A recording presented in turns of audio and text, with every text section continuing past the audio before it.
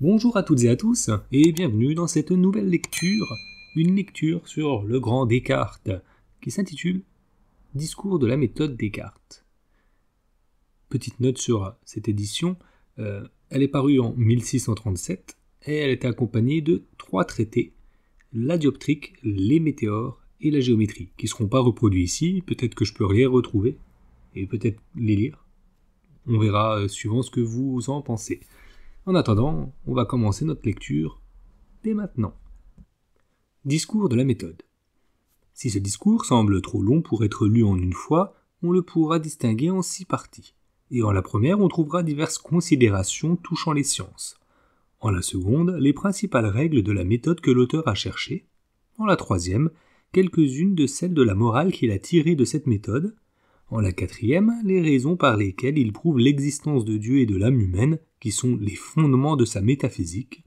En la cinquième, l'ordre des questions de physique qu'il a cherché, et particulièrement l'explication du mouvement du cœur et de quelques autres difficultés qui appartiennent à la médecine. Puis aussi la différence qui est entre notre âme et celle des bêtes. Et en la dernière, quelles choses il croit être requises pour aller plus en avant en la recherche de la nature qu'il n'a été et quelles raisons l'ont fait écrire.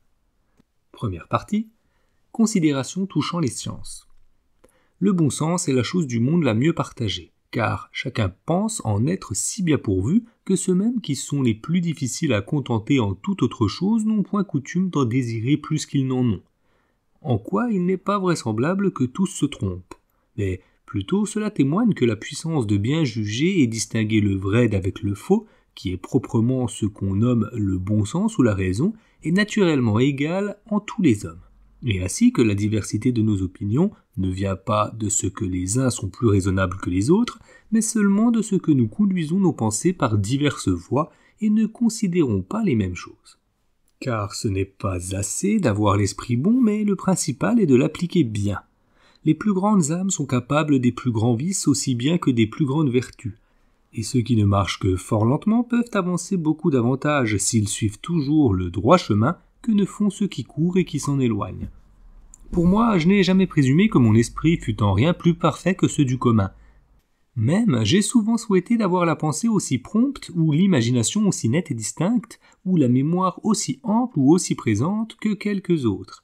et je ne sache point de qualité que celles-ci qui servent à la perfection de l'esprit.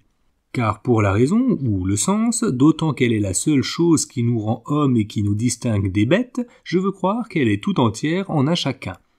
Et suivront ceci l'opinion commune des philosophes qui disent qu'il n'y a du plus et du moins qu'entre les accidents et non point entre les formes ou natures des individus d'une même espèce mais je ne craindrais pas de dire que je pense avoir eu beaucoup d'heures de m'être rencontré dès ma jeunesse en certains chemins qui m'ont conduit à des considérations et des maximes dont j'ai formé une méthode par laquelle il me semble que j'ai moyen d'augmenter par degrés ma connaissance et de l'élever peu à peu au plus haut point auquel la médiocrité de mon esprit et la courte durée de ma vie lui pourront permettre d'atteindre car j'en ai déjà recueilli de tels fruits qu'encore qu'au jugement que je fais de moi-même, je tâche toujours de pencher vers le côté de la défiance plutôt que vers celui de la présomption, et que, regardant d'un œil de philosophe les diverses actions et entreprises de tous les hommes, il n'y en ait quasiment aucune qui ne me semble vaine et inutile, je ne laisse pas de recevoir une extrême satisfaction du progrès que je pense avoir déjà fait en la recherche de la vérité, et de concevoir de telles espérances pour l'avenir, si, entre les occupations des hommes, purement hommes, il n'y en a quelqu'une qui soit solidement bonne et importante, j'ose croire que c'est celle que j'ai choisie. Toutefois, il se peut faire que je me trompe, et ce n'est peut-être qu'un peu de cuivre et de verre que je prends pour de l'or et des diamants.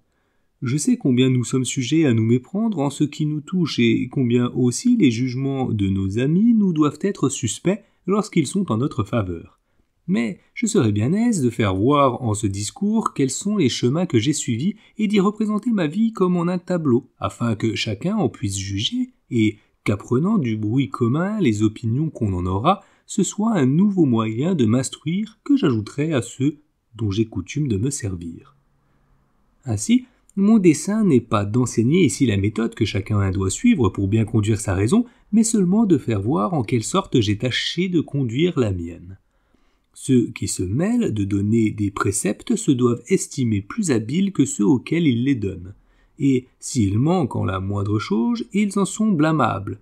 Mais ne proposant cet écrit que comme une histoire, ou, si vous l'aimez mieux, que comme une fable en laquelle, parmi quelques exemples qu'on peut imiter, on en trouvera peut-être aussi plusieurs autres qu'on aura raison de ne pas suivre, j'espère qu'il sera utile à quelques-uns sans être nuisible à personne, et que tous me sauront gré de ma franchise. J'ai été nourri aux lettres dès mon enfance, et pour ce qu'on me persuadait que par leurs moyens on pouvait acquérir une connaissance claire et assurée de tout ce qui est utile à la vie, j'avais un extrême désir de les apprendre. Mais, sitôt que j'eus achevé tout ce cours d'études, au bout duquel on a coutume d'être reçu au rang des doctes, je changeai entièrement d'opinion car je me trouvais embarrassé de tant de doutes et d'erreurs qu'il me semblait d'avoir fait autre profit en tâchant de m'instruire, sinon que j'avais découvert de plus en plus mon ignorance. Et néanmoins, j'étais en l'une des plus célèbres écoles d'Europe où je pensais qu'il devait y avoir de savants hommes s'il n'y en avait en aucun endroit de la Terre. J'y avais appris tout ce que les autres y apprenaient, et même ne m'étant pas contenté des sciences qu'on nous enseignait, j'avais parcouru tous les livres traitant de celles qu'on estime les plus curieuses et les plus rares qui avaient pu tomber entre mes mains.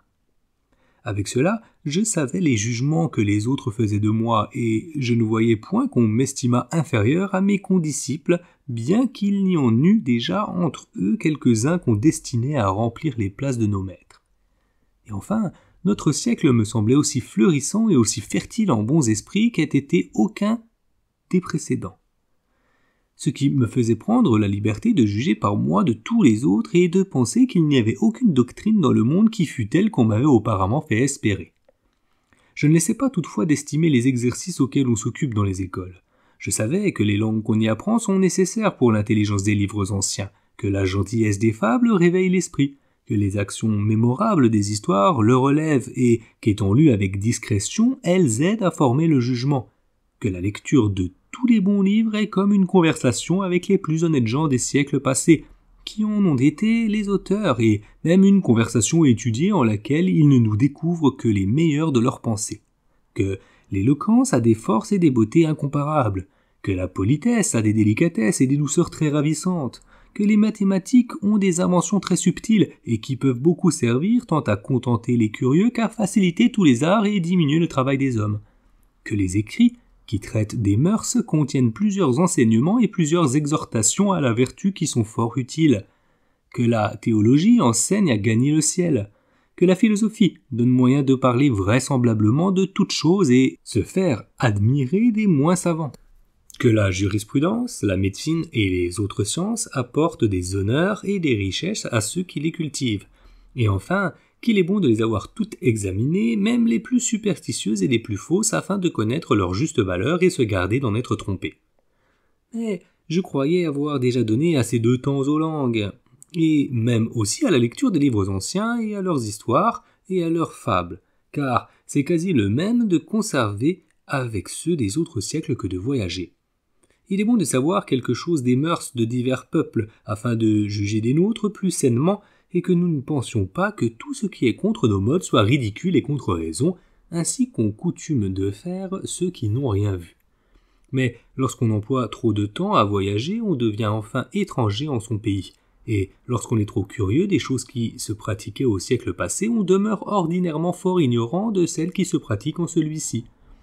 Outre que les fables font imaginer plusieurs événements comme possibles qui ne le sont point, et que même les histoires les plus fidèles, si elles ne changent ni n'augmentent la valeur des choses pour les rendre plus dignes d'être lues, au moins en omettent-elles presque toujours les plus basses et moins illustres circonstances, d'où vient que le reste ne paraît pas tel qu'il est, et que ceux qui règlent leurs mœurs par les exemples qu'ils en tirent sont sujets à tomber dans les extravagances des paladins de nos romans et à concevoir des dessins qui passent leur force.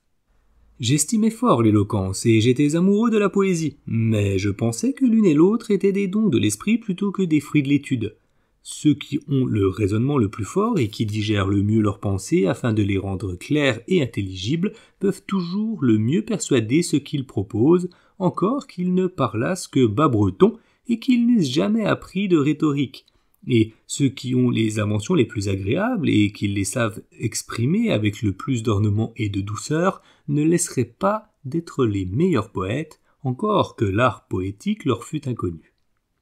Je me plaisais surtout aux mathématiques à cause de la certitude et de l'évidence de leurs raisons, mais je ne remarquais point encore leur vrai usage, et, pensant qu'elles ne servaient qu'aux arts mécaniques, je m'étonnais de ce que leur fondement était si ferme et si solide, on n'avait rien bâti dessus de plus relevé. Comme au contraire, je comparais les écrits des anciens païens qui traitent des mœurs à des palais fort superbes et fort magnifiques qui n'étaient bâtis que sur du sable et sur de la boue. Ils élèvent fort haut les vertus et les font paraître estimables par-dessus toutes les choses qui sont au monde. Mais ils n'enseignent pas assez à les connaître, et souvent ce qu'ils appellent d'un si beau nom n'est qu'une insensibilité ou un orgueil ou un désespoir ou un parricide.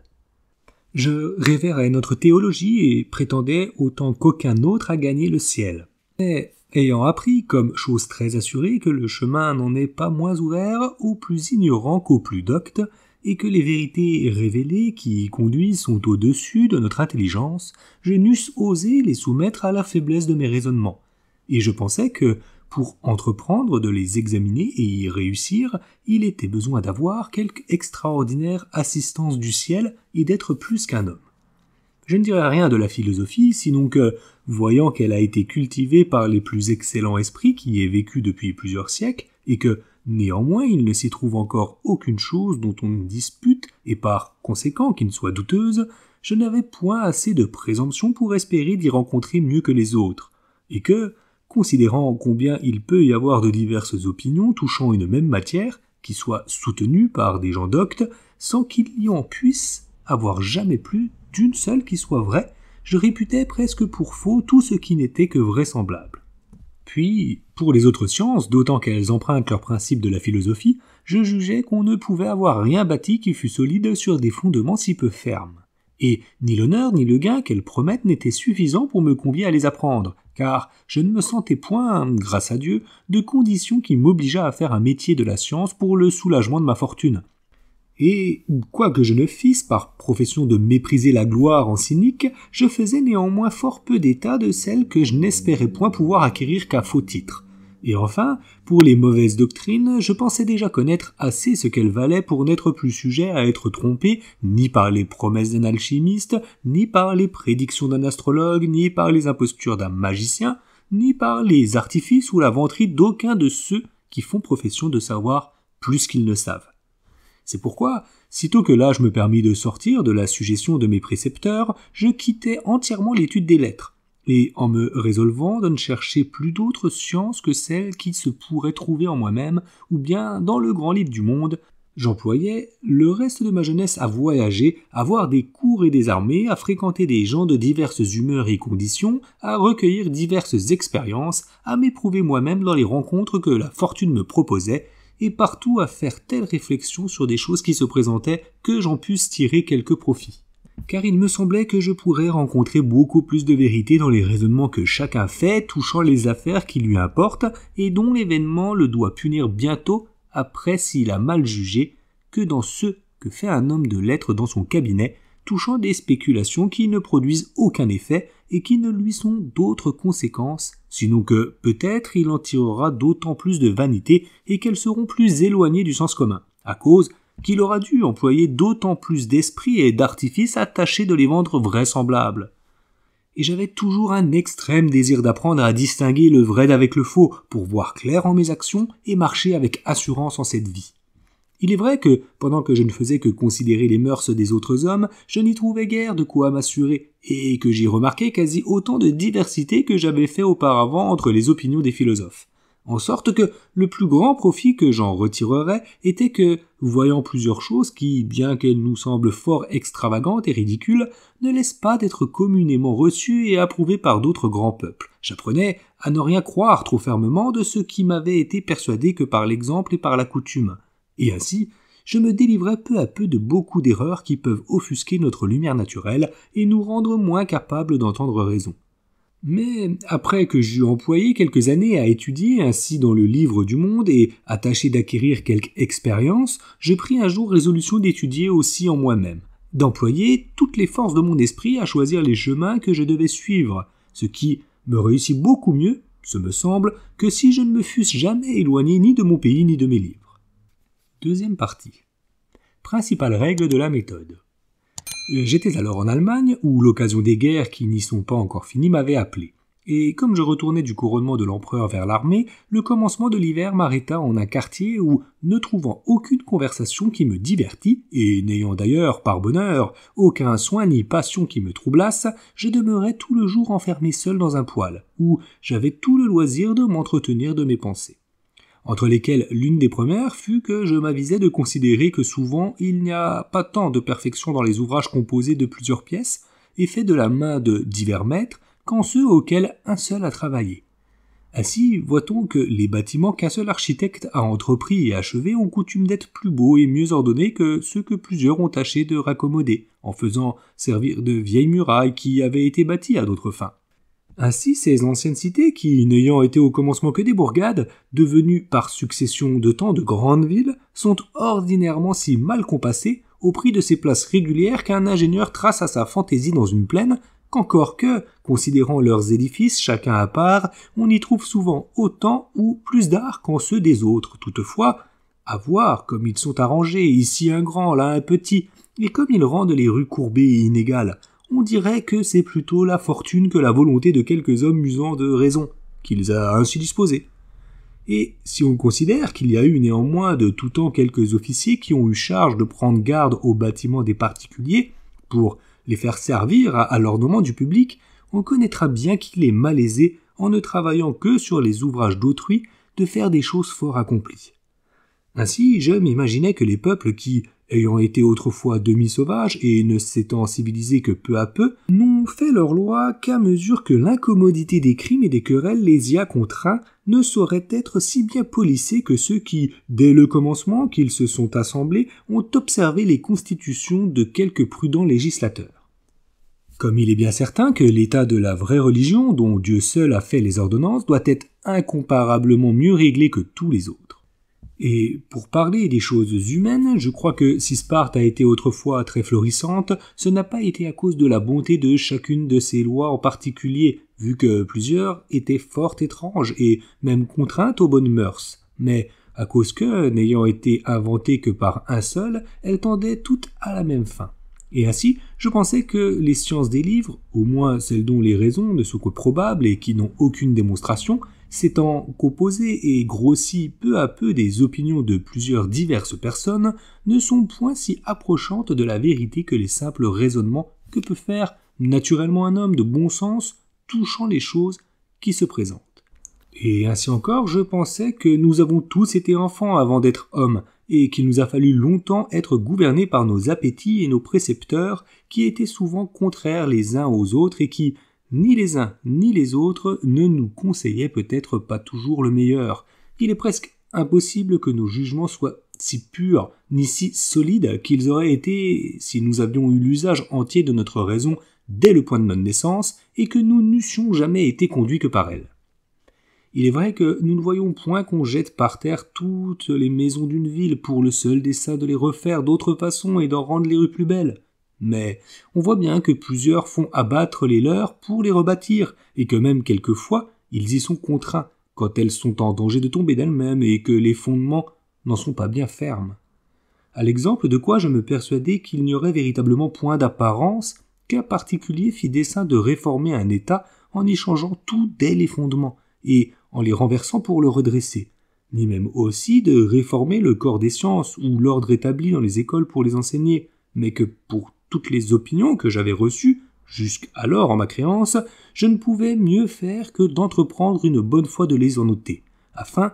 d'y remettre par après ou d'autres meilleurs, ou bien les mêmes lorsque je les aurais ajustés au niveau de la raison. Et je crus fermement que par ce moyen je réussirais à conduire ma vie beaucoup mieux que si je ne bâtissais que sur de vieux fondements et que je ne m'appuyasse que sur des principes que je m'étais laissé persuader en ma jeunesse, sans avoir jamais examiné s'ils étaient vrais. Car bien que je remarquasse en ceci diverses difficultés, elles n'étaient point toutefois sans remède, ni comparables à celles qui se trouvent en la réformation des moindres choses qui touchent le public. Ces grands corps sont trop malaisés à relever étant abattus, ou même à retenir étant ébranlés, et leurs chutes ne peuvent être que très rudes. Puis, pour leurs imperfections, s'ils en ont, comme la seule diversité qui est entre eux suffit pour assurer que plusieurs en ont. L'usage les a sans doute fort adoucis, et même s'il a été évité ou corrigé insensiblement quantité, auxquelles on ne pourrait si bien pourvoir par prudence. Et enfin, elles sont quasi toujours plus supportables que ne serait leur changement. En même façon que les grands chemins qui tournoient entre les montagnes deviennent peu à peu si unis et si commodes à force d'être fréquentés qu'il est beaucoup meilleur de les suivre que d'entreprendre d'aller plus droit en grimpant au-dessus des rochers et descendant jusqu'au bas des précipices. C'est pourquoi je ne saurais aucunement approuver ces humeurs brouillonnes et inquiètes qui, n'étant appelées ni par leur naissance ni par leur fortune au maniement des affaires publiques, ne laissent pas d'y faire toujours en idée quelques nouvelles réformations. Et si je pensais qu'il y eût la moindre chose en cet écrit par laquelle on me pût soupçonner de cette folie, je serais très mari de souffrir qu'il fût publié. Jamais mon dessein ne s'est étendu plus avant que de tâcher à réformer mes propres pensées et de bâtir dans un fond qui est tout à moi. Que si mon ouvrage m'ayant assez plu, je vous en fais voir ici le modèle, ce n'est pas pour cela que je veuille conseiller à personne de l'imiter. Ceux que Dieu a mieux partagé de ses grâces auront peut-être des dessins plus relevés, mais je crains bien que celui-ci ne soit déjà que trop hardi pour plusieurs. La seule résolution de se défaire de toutes les opinions qu'on a reçues auparavant en sa créance n'est pas un exemple que chacun doit suivre, et le monde n'est quasi composé que de deux sortes d'esprits auxquels il ne convient aucunement. À savoir de ceux qui, se croyant plus habiles qu'ils ne le sont, ne se peuvent empêcher de précipiter leur jugement ni avoir assez de patience pour conduire par ordre toutes leurs pensées tout vient que, s'ils avaient une fois pris la liberté de douter des principes qu'ils ont reçus et de s'écarter du chemin commun, jamais ils ne pourraient tenir le sentier qu'il faut prendre pour aller plus droit, et demeureraient égarés toute leur vie. Puis de ceux qui, ayant assez de raison ou de modestie pour juger qu'ils sont moins capables de distinguer le vrai d'avec le faux que quelques autres par lesquels ils peuvent être instruits, doivent bien plutôt se contenter de suivre les opinions de ces autres qu'en chercher eux-mêmes de meilleurs. Et pour moi, j'aurais été sans doute du nombre de ces derniers, si je n'avais jamais eu qu'un seul maître, ou que je n'eusse point su les différences qui ont été de tout temps entre les opinions des plus doctes. Mais ayant appris dès le collège qu'on ne saurait rien imaginer de si étrange et si peu croyable qu'il n'ait été dit par quelqu'un des philosophes. Et depuis, en voyageant, ayant reconnu que tous ceux qui ont des sentiments forts contraires aux nôtres ne sont pas pour cela barbares ni sauvages, mais que plusieurs usent autant ou plus que nous de raison. Et ayant considéré combien un même homme, avec son même esprit, étant nourri dès son enfance entre des Français ou des Allemands, devient différent de ce qu'il serait s'il avait toujours vécu entre des Chinois ou des cannibales, et comment, jusqu'au mode de nos habits, la même chose qui nous a plu il y a dix ans, et qui nous plaira peut-être encore avant dix ans, nous semble maintenant extravagante et ridicule. En sorte que c'est bien plus la coutume et l'exemple qui nous persuadent qu'aucune connaissance certaine. Et que néanmoins la pluralité des voix n'est pas une preuve qui vaille rien pour les vérités un peu malaisées à découvrir, à cause qu'il est bien plus vraisemblable qu'un homme seul les ait rencontrés que tout un peuple. Je ne pouvais choisir personne dont les opinions me semblassent devoir être préférées à celles des autres, et je me trouvais comme contraint d'entreprendre moi-même de me conduire. Mais comme un homme qui marche seul et dans les ténèbres, je me résolus d'aller si lentement et d'user de tant de circonspection en toutes choses que si je n'avançais que fort peu, je me garderais bien au moins de tomber. Mais je ne voulus point commencer à rejeter tout à fait aucune des opinions qui s'étaient pu glisser autrefois en ma créance sans y avoir été introduite par la raison que je n'eusse auparavant employé assez de temps à faire le projet de l'ouvrage que j'entreprenais et à chercher la vraie méthode pour parvenir à la connaissance de toutes les choses dont mon esprit serait capable. J'avais un peu étudié, étant plus jeune, entre les parties de la philosophie à la logique et entre les mathématiques à l'analyse des géomètres et à l'algèbre, trois arts ou sciences qui semblaient devoir contribuer quelque chose à mon dessin mais en les examinant, je pris garde que, pour la logique, ces syllogismes et la plupart de ces autres instructions servent plutôt à expliquer à autrui les choses qu'on sait, ou même, comme l'art de Lulle, à parler sans jugement de celles qu'on ignore, qu'à les apprendre. Eh bien, qu'elles contiennent en effet beaucoup de préceptes très vrais et très bons, il y en a toutefois tant d'autres mêlés parmi qui sont ou nuisibles ou superflus qu'il est presque aussi malaisé de les en séparer que de tirer une Diane ou une Minerve hors d'un bloc de marbre qui n'est point encore ébauché. Puis, pour l'analyse des anciens et l'algèbre des modernes, outre qu'elles ne s'étendent qu'à des matières fort abstraites et qui ne semblent d'aucun usage, la première est toujours si astreinte à la considération des figures qu'elle ne peut exercer l'entendement sans fatiguer beaucoup l'imagination. Et on s'est tellement assujetti en lu dernière à certaines règles et à certains chiffres qu'on en a fait un art confus et obscur qui embarrasse l'esprit au lieu d'une science qui le cultive. Ce qui fut cause que je pensais qu'il fallait chercher quelque autre méthode qui, comprenant les avantages de ces trois, fût exempte de leurs défauts. Et comme la multitude des lois fournit souvent des excuses aux vices, en sorte qu'un État est bien mieux réglé lorsque, n'en ayant que fort peu, elles y sont fort étroitement observées. Ainsi, au lieu de ce grand nombre de préceptes dont la logique est composée, je crus que j'aurais assez des quatre suivants pourvu que je prisse une ferme et constante résolution de ne manquer pas une seule fois à les observer. Le premier était de ne recevoir jamais aucune chose pour vraie que je ne la connusse évidemment être telle c'est-à-dire d'éviter soigneusement la précipitation et la prévention et de ne comprendre rien de plus en mes jugements que ce qui se présenterait si clairement et si distinctement à mon esprit que je n'eusse aucune occasion de le mettre en doute. Le second, de diviser chacune des difficultés que j'examinerais en autant de parcelles qu'il se pourrait et qu'il serait requis pour les mieux résoudre. Le troisième, de conduire par ordre mes pensées en commençant par les objets les plus simples et les plus aisés à connaître, pour monter peu à peu comme par degrés jusqu'à la connaissance des plus composés et supposant même de l'ordre entre ceux qui ne se précèdent point naturellement les uns les autres. Et le dernier, de faire partout des dénombrements si entiers et des revues si générales que je fusse assuré de ne rien omettre.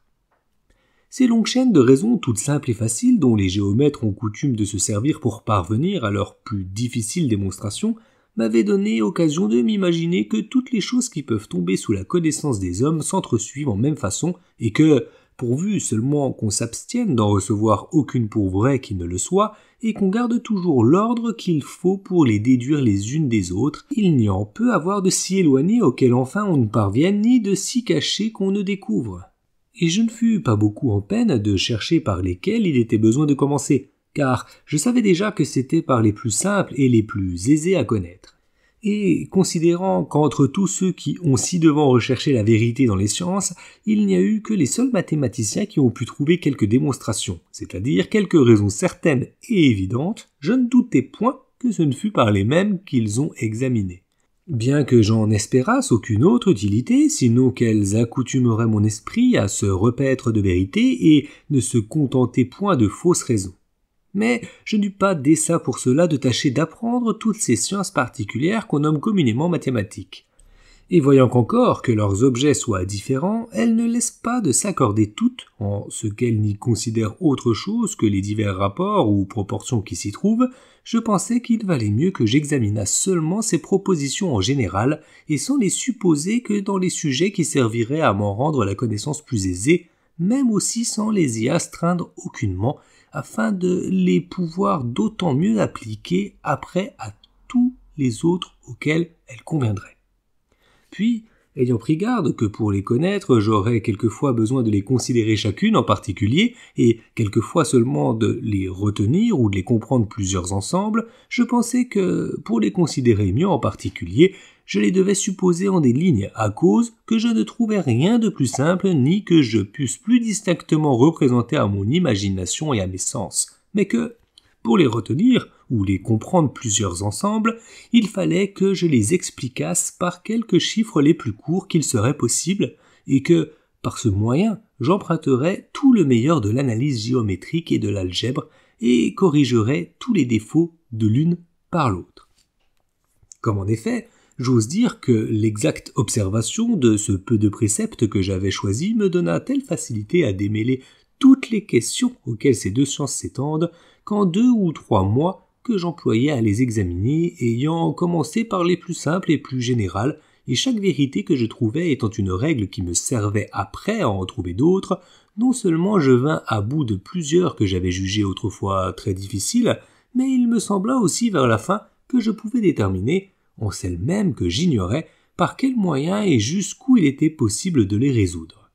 En quoi je ne vous paraîtrai peut-être pas être fort vain si vous considérez que, n'y ayant qu'une vérité de chaque chose, quiconque la trouve en sait autant qu'on peut savoir. Et que par exemple un enfant instruit en l'arithmétique, ayant fait une addition suivant ses règles, se peut assurer d'avoir trouvé, touchant la somme qu'il examinait, tout ce que l'esprit humain saurait trouver. Car Enfin, la méthode qui enseigne à suivre le vrai ordre et à dénombrer exactement toutes les circonstances de ce qu'on cherche contient tout ce qui donne de la certitude aux règles d'arithmétique.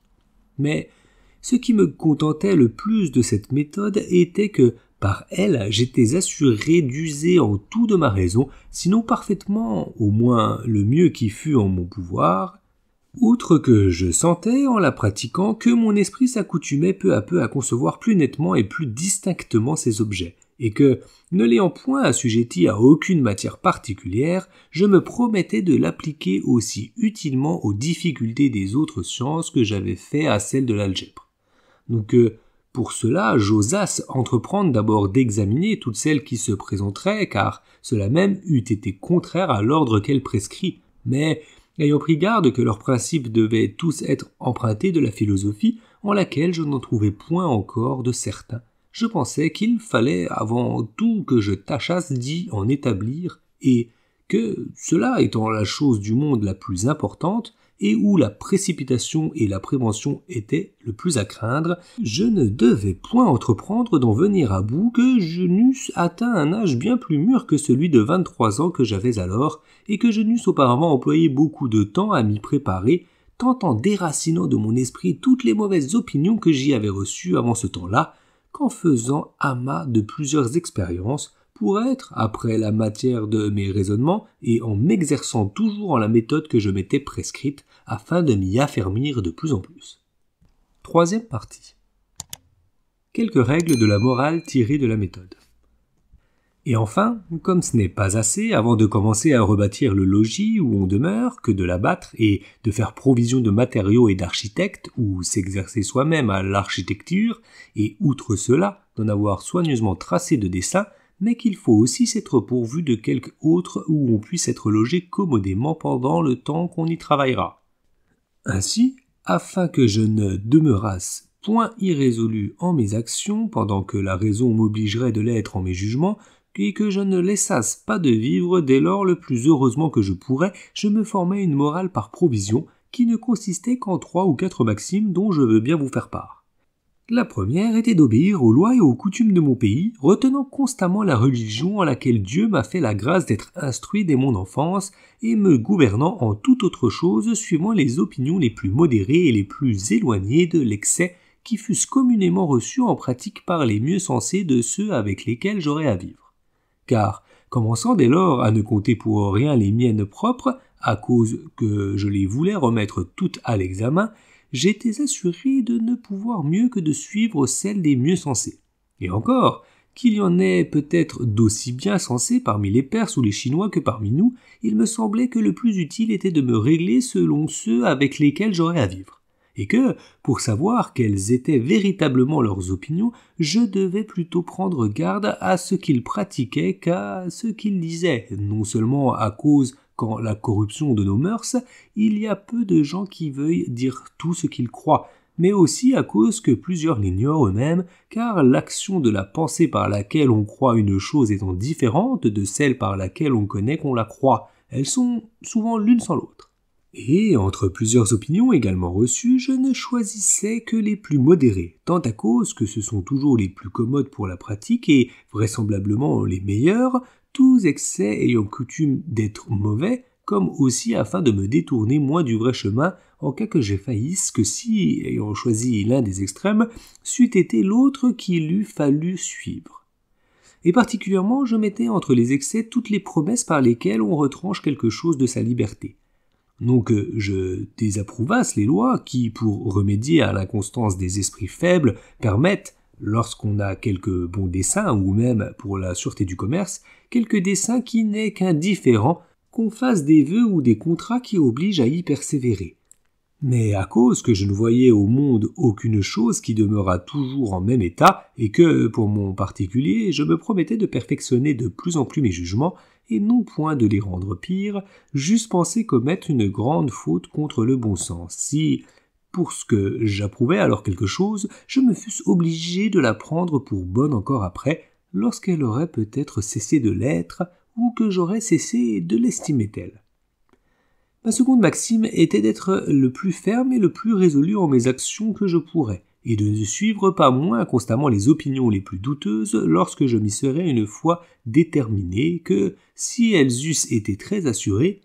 imitant en ceci les voyageurs qui, se trouvant égarés en quelque forêt, ne doivent pas errer en tournoyant tantôt d'un côté, tantôt d'un autre, ni encore moins s'arrêter en une place, mais marcher toujours le plus droit qu'ils peuvent vers un même côté, et ne le changer point pour de faibles raisons, encore que ce n'ait peut-être été au commencement que le hasard seul qui les ait déterminés à le choisir. Car, par ce moyen, s'ils le vont justement où ils désirent, ils arriveront au moins à la fin quelque part où, vraisemblablement, ils seront mieux que dans le milieu d'une forêt. Et ainsi, les actions de la vie ne souffrant souvent aucun délai, c'est une vérité très certaine que lorsqu'il n'est pas en notre pouvoir de discerner les plus vraies opinions, nous devons suivre les plus probables. Et même qu'encore que nous ne remarquions point davantage de probabilités aux unes qu'aux autres, nous devons néanmoins nous déterminer à quelques-unes et les considérer après, non plus comme douteuses en tant qu'elles se rapportent à la pratique, mais comme très vraies et très certaines, à cause que la raison qui nous y a fait déterminer se trouve-t-elle et ceci fut capable dès lors de me délivrer de tous les repentirs et les remords qui ont coutume d'agiter les consciences de ces esprits faibles et chancelants qui se laissent aller inconstamment à pratiquer comme bonnes les choses qu'ils jugent après être mauvaises. Ma troisième maxime était de tâcher toujours plutôt à me vaincre que la fortune et à changer mes désirs que l'ordre du monde, et généralement de m'accoutumer à croire qu'il n'y a rien qui soit entièrement en notre pouvoir que nos pensées en sorte qu'après que nous avons fait notre mieux touchant les choses qui nous sont extérieures, tout ce qui manque de nous réussir est au regard de nous absolument impossible. Et ceci seul me semble être suffisant pour m'empêcher de rien désirer à l'avenir que je naquisse, et ainsi pour me rendre content car notre volonté ne se portant naturellement à désirer que les choses que notre entendement lui représente en quelque façon comme possible, il est certain que si nous considérons tous les biens qui sont hors de nous comme également éloignés de notre pouvoir, nous n'aurons pas plus de regret de manquer de ceux qui semblent être dus à notre naissance, lorsque nous en serons privés, sans notre faute, que nous avons de ne posséder pas les royaumes de la Chine ou de Mexique. Et que faisant, comme on dit, de nécessité vertu, nous ne désirons pas davantage d'être saints étant malades ou d'être libres étant en prison, que nous faisons maintenant d'avoir des corps d'une matière aussi peu corruptible que des diamants, ou des ailes pour voler comme les oiseaux. Mais j'avoue qu'il est besoin d'un long exercice et d'une méditation souvent réitérée pour s'accoutumer à regarder de ce biais toutes les choses, et je crois que c'est principalement en ceci que consistait le secret de ces philosophes qui ont pu autrefois se soustraire de l'empire de la fortune et, malgré les douleurs et la pauvreté, disputer de la félicité avec leur Dieu. Car, s'occupant sans cesse à considérer les bornes qui leur étaient prescrites par la nature, ils se persuadaient si parfaitement que rien n'était en leur pouvoir que leur pensée, que cela seul était suffisant pour les empêcher d'avoir aucune affection pour d'autres choses et ils disposaient d'elle si absolument qu'ils avaient en cela quelques raisons de s'estimer plus riches et plus puissants et plus libres et plus heureux qu'aucun des autres hommes qui, n'ayant point cette philosophie, tant favorisée de la nature et de la fortune qu'ils puissent être, ne disposent jamais ainsi de tout ce qu'ils veulent.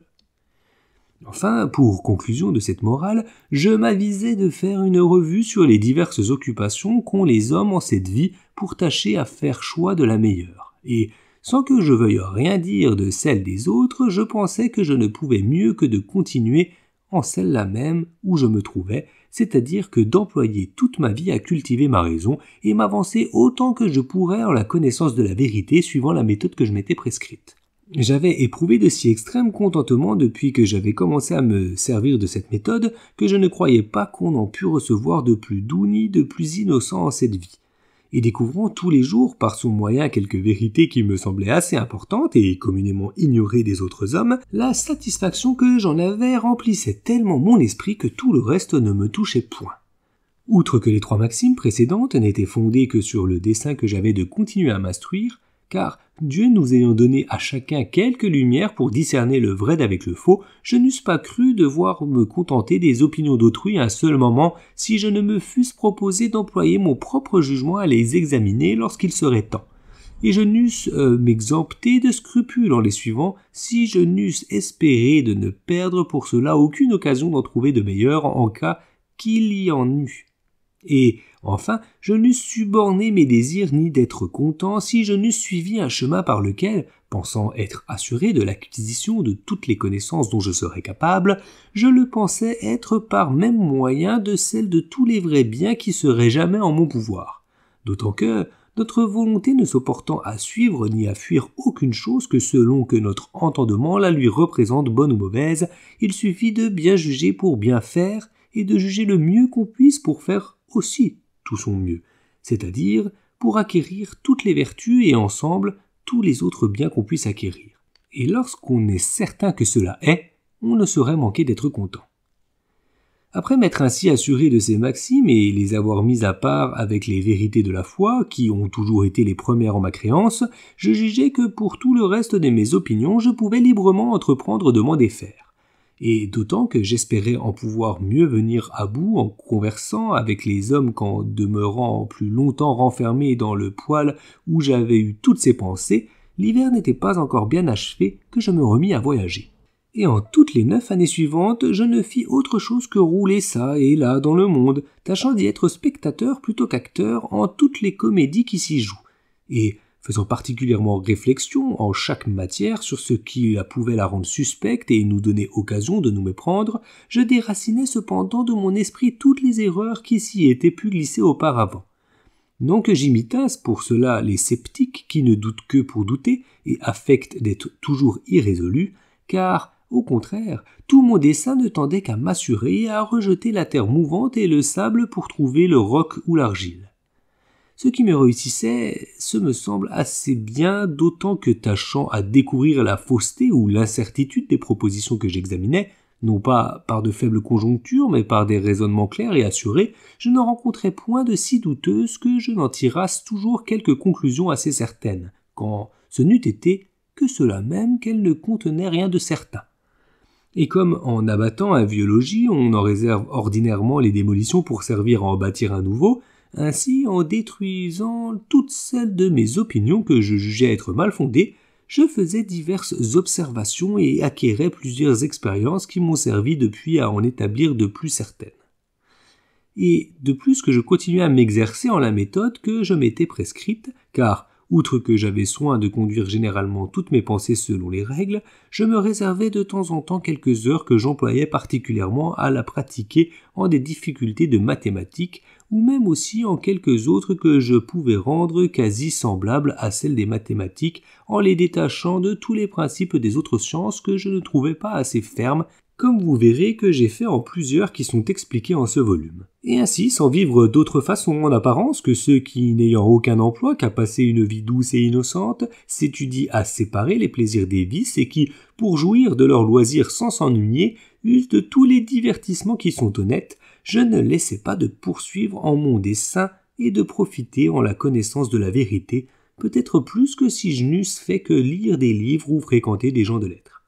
Toutefois, ces neuf ans s'écoulèrent avant que j'eusse encore pris aucun parti touchant les difficultés qui ont coutume d'être disputées entre les doctes, ni commencé à chercher les fondements d'aucune philosophie plus certaine que vulgaire. Et l'exemple de plusieurs excellents esprits qui, en ayant eu si devant le dessin, me semblaient n'y avoir pas réussi, m'y faisait imaginer tant de difficultés que je n'eusse peut-être pas encore sitôt osé l'entreprendre, si je n'eusse vu que quelques-uns faisaient déjà courir le bruit que j'en étais venu à bout. Je ne saurais pas dire sur quoi il fondait cette opinion. Et si j'y ai contribué quelque chose par mes discours, ce doit avoir été en confessant plus ingénument ce que j'ignorais que non coutume de faire ceux qui ont un peu étudié, et peut-être aussi en faisant voir les raisons que j'avais de douter de beaucoup de choses que les autres estiment certaines, plutôt que m'en vantant d'aucune doctrine. Mais ayant le cœur assez bon pour ne vouloir point qu'on me prît pour autre chose que je n'étais, je pensais qu'il fallait que je tâchasse par tout moyen à me rendre digne de la réputation qu'on me donnait. et il y a justement huit ans que ce désir me fit résoudre à m'éloigner de tous les lieux où je pouvais avoir des connaissances et à me retirer ici, en un pays, la Hollande, où la longue durée de la guerre a fait établir de tels ordres que les armées qu'on y entretient ne semblent servir qu'à faire qu'on y jouisse des fruits de la paix avec d'autant plus de sûreté, et où, parmi la foule d'un grand peuple fort actif et plus soigneux de ses propres affaires que curieux de celles d'autrui, sans manquer d'aucune des commodités qui sont dans les villes les plus fréquentées, j'ai pu vivre aussi solitaire et retiré que dans les déserts les plus écartés. Quatrième partie, preuve de l'existence de Dieu et de l'âme humaine ou fondement de la métaphysique. Je ne sais si je dois vous entretenir des premières méditations que j'y ai faites, car elles sont si métaphysiques et si peu communes qu'elles ne seront peut-être pas au goût de tout le monde. Et toutefois, afin qu'on puisse juger si les fondements que j'ai pris sont assez fermes, je me trouve en quelque façon contraint d'en parler. J'avais dès longtemps remarqué que pour les mœurs, il est besoin quelquefois de suivre des opinions qu'on sait être fort incertaines, tout de même que si elles étaient indubitables, ainsi qu'il a été dit ci-dessus. Mais pour ce qu'alors je désirais vaquer seulement à la recherche de la vérité, je pensais qu'il fallait que je fisse tout le contraire, et que je rejetasse comme absolument faux tout ce en quoi je pourrais imaginer le moindre doute, afin de voir s'il ne resterait point après cela quelque chose en ma créance qui fût entièrement indubitable. Ainsi, à cause que nos sens nous trompent quelquefois, je voulus supposer qu'il n'y avait aucune chose qui fût telle qu'ils nous la font imaginer.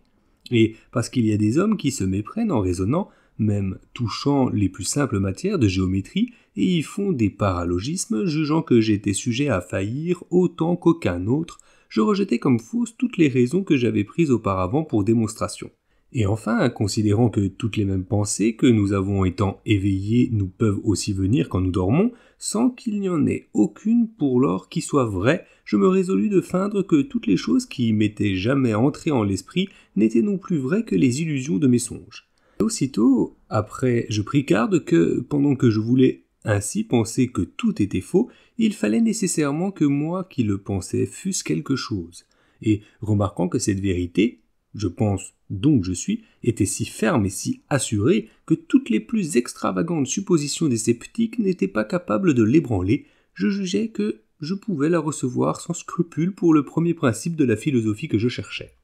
Puis, examinant avec attention ce que j'étais, en voyant que je pouvais feindre que je n'avais aucun corps et qu'il n'y avait aucun monde ni aucun lieu où je fusse, mais que je ne pouvais pas feindre pour cela que je n'étais point,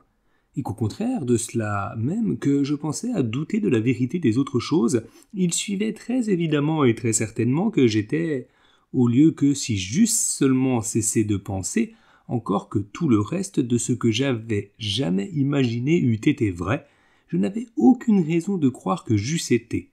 Je connus de là que j'étais une substance dont toute l'essence ou la nature n'est que de penser, et pour être n'a besoin d'aucun lieu ni de dépend d'aucune chose matérielle. En sorte que ce moi, c'est-à-dire l'âme par laquelle je suis ce que je suis, est entièrement distincte du corps, et même qu'elle est plus aisée à connaître que lui, et qu'encore qu'il ne fût point, elle ne laisserait pas d'être tout ce qu'elle est.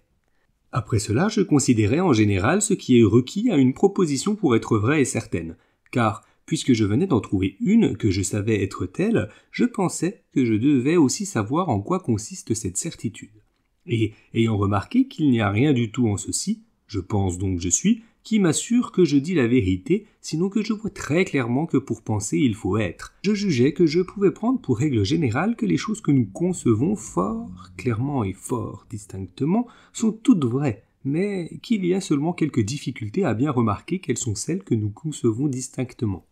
Ensuite de quoi, faisant réflexion sur ce que je doutais et que par conséquent mon être n'était pas tout parfait, car je voyais clairement que c'était une plus grande perfection de connaître que de douter. Je m'avisais de chercher d'où j'avais appris à penser à quelque chose de plus parfait que je n'étais, et je connus évidemment que ce devait être quelque nature qui fût en effet plus parfaite.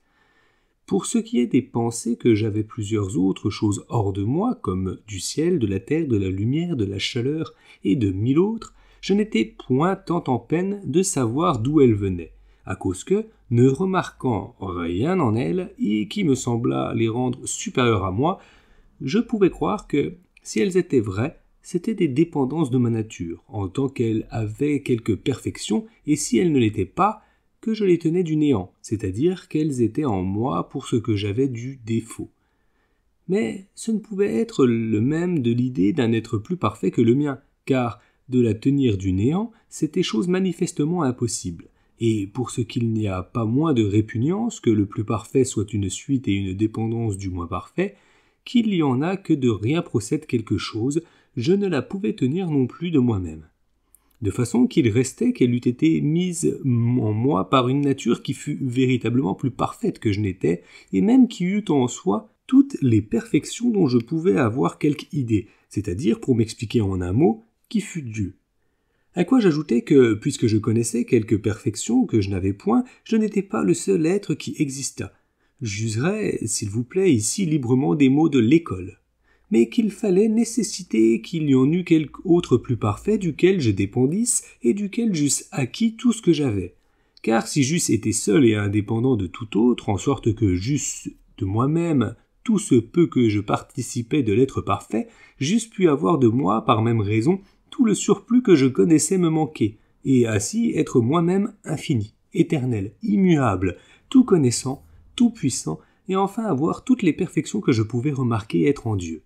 car, suivant les raisonnements que je viens de faire pour connaître la nature de Dieu, autant que la mienne en était capable, je n'avais qu'à considérer de toutes les choses dont je trouvais en moi quelque idée, si c'était perfection ou non de les posséder. Et j'étais assuré qu'aucune de celles qui marquaient quelque imperfection n'était en lui, mais que toutes les autres y étaient. Comme je voyais que le doute, l'inconstance, la tristesse et choses semblables n'y pouvaient être, vu que j'eusse été moi-même bien aisé d'en être exempt.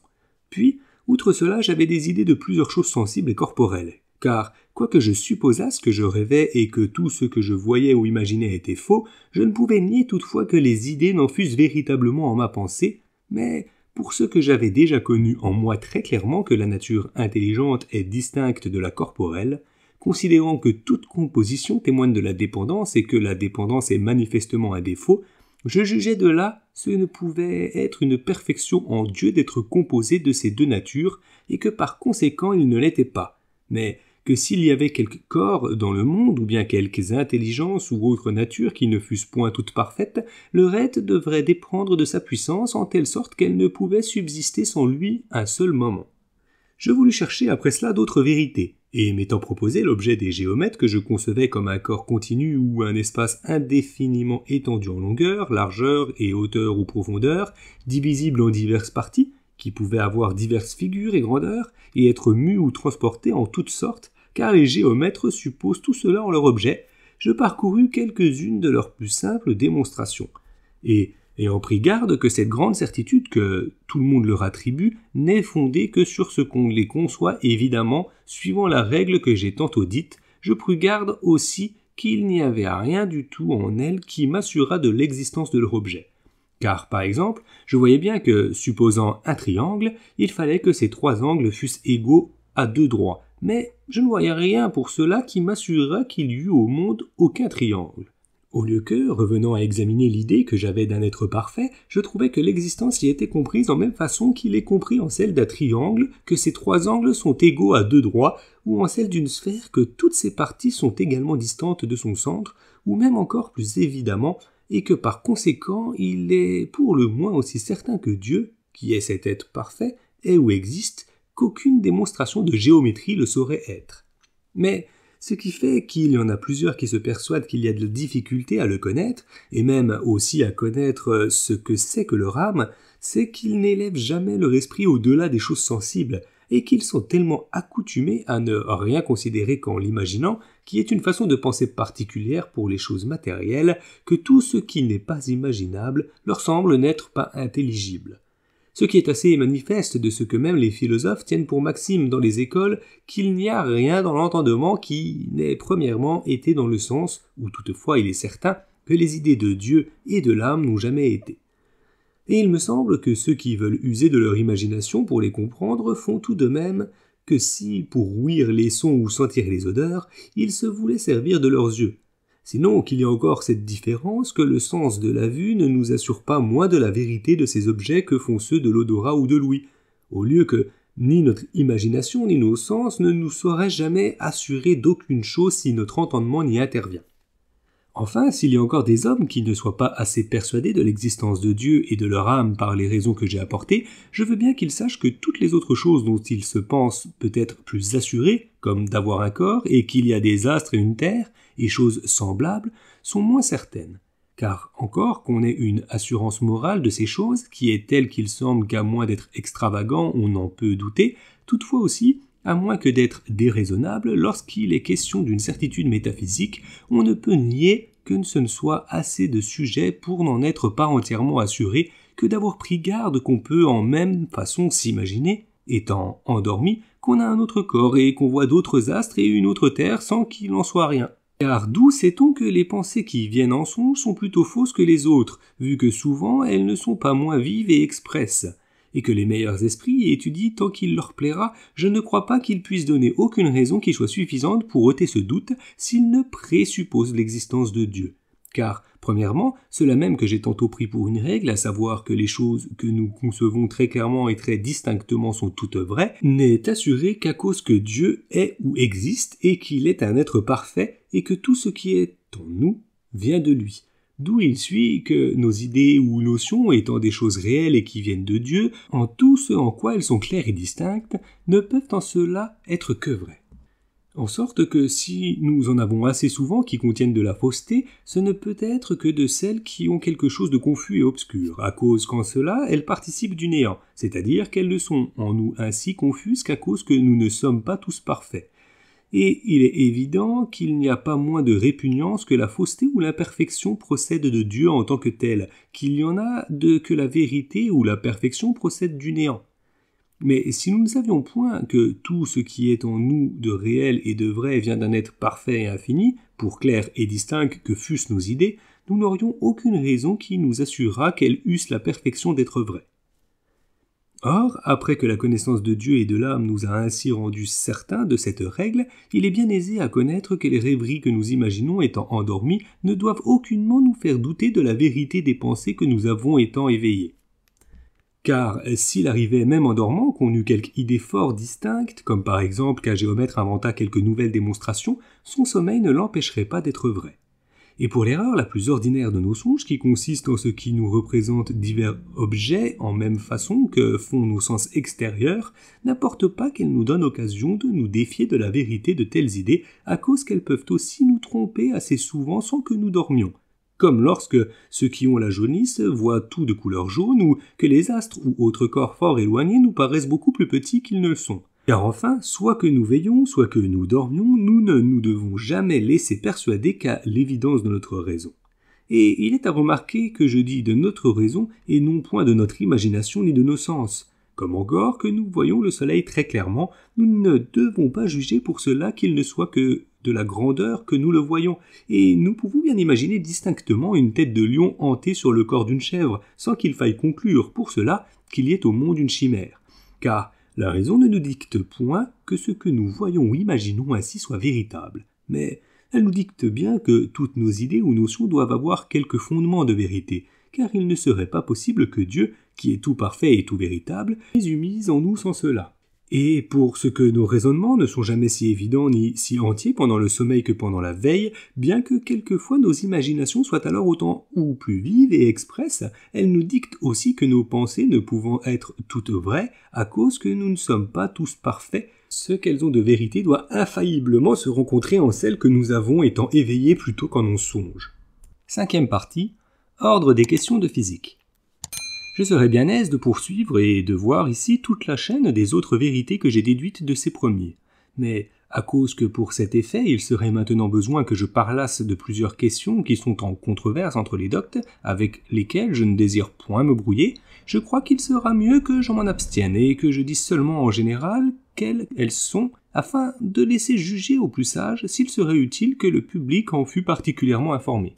je suis toujours demeuré ferme en la résolution que j'avais prise de ne supporter aucun autre principe que celui dont je viens me servir pour démontrer l'existence de Dieu et de l'âme, et de ne recevoir aucune chose pour vraie qui ne me sembla plus claire et plus certaine que n'avaient fait auparavant les démonstrations des géomètres. Et néanmoins, j'ose dire que non seulement j'ai trouvé moyen de me satisfaire en peu de temps, touchant toutes les principales difficultés dont on a coutume de traiter en la philosophie, mais aussi que j'ai remarqué certaines lois que Dieu a tellement établies en la nature, et dont il a imprimé de telles notions en nos âmes, qu'après y avoir fait assez de réflexion, nous ne saurions douter qu'elles ne soient exactement observées en tout ce qui est ou qui se fait dans le monde.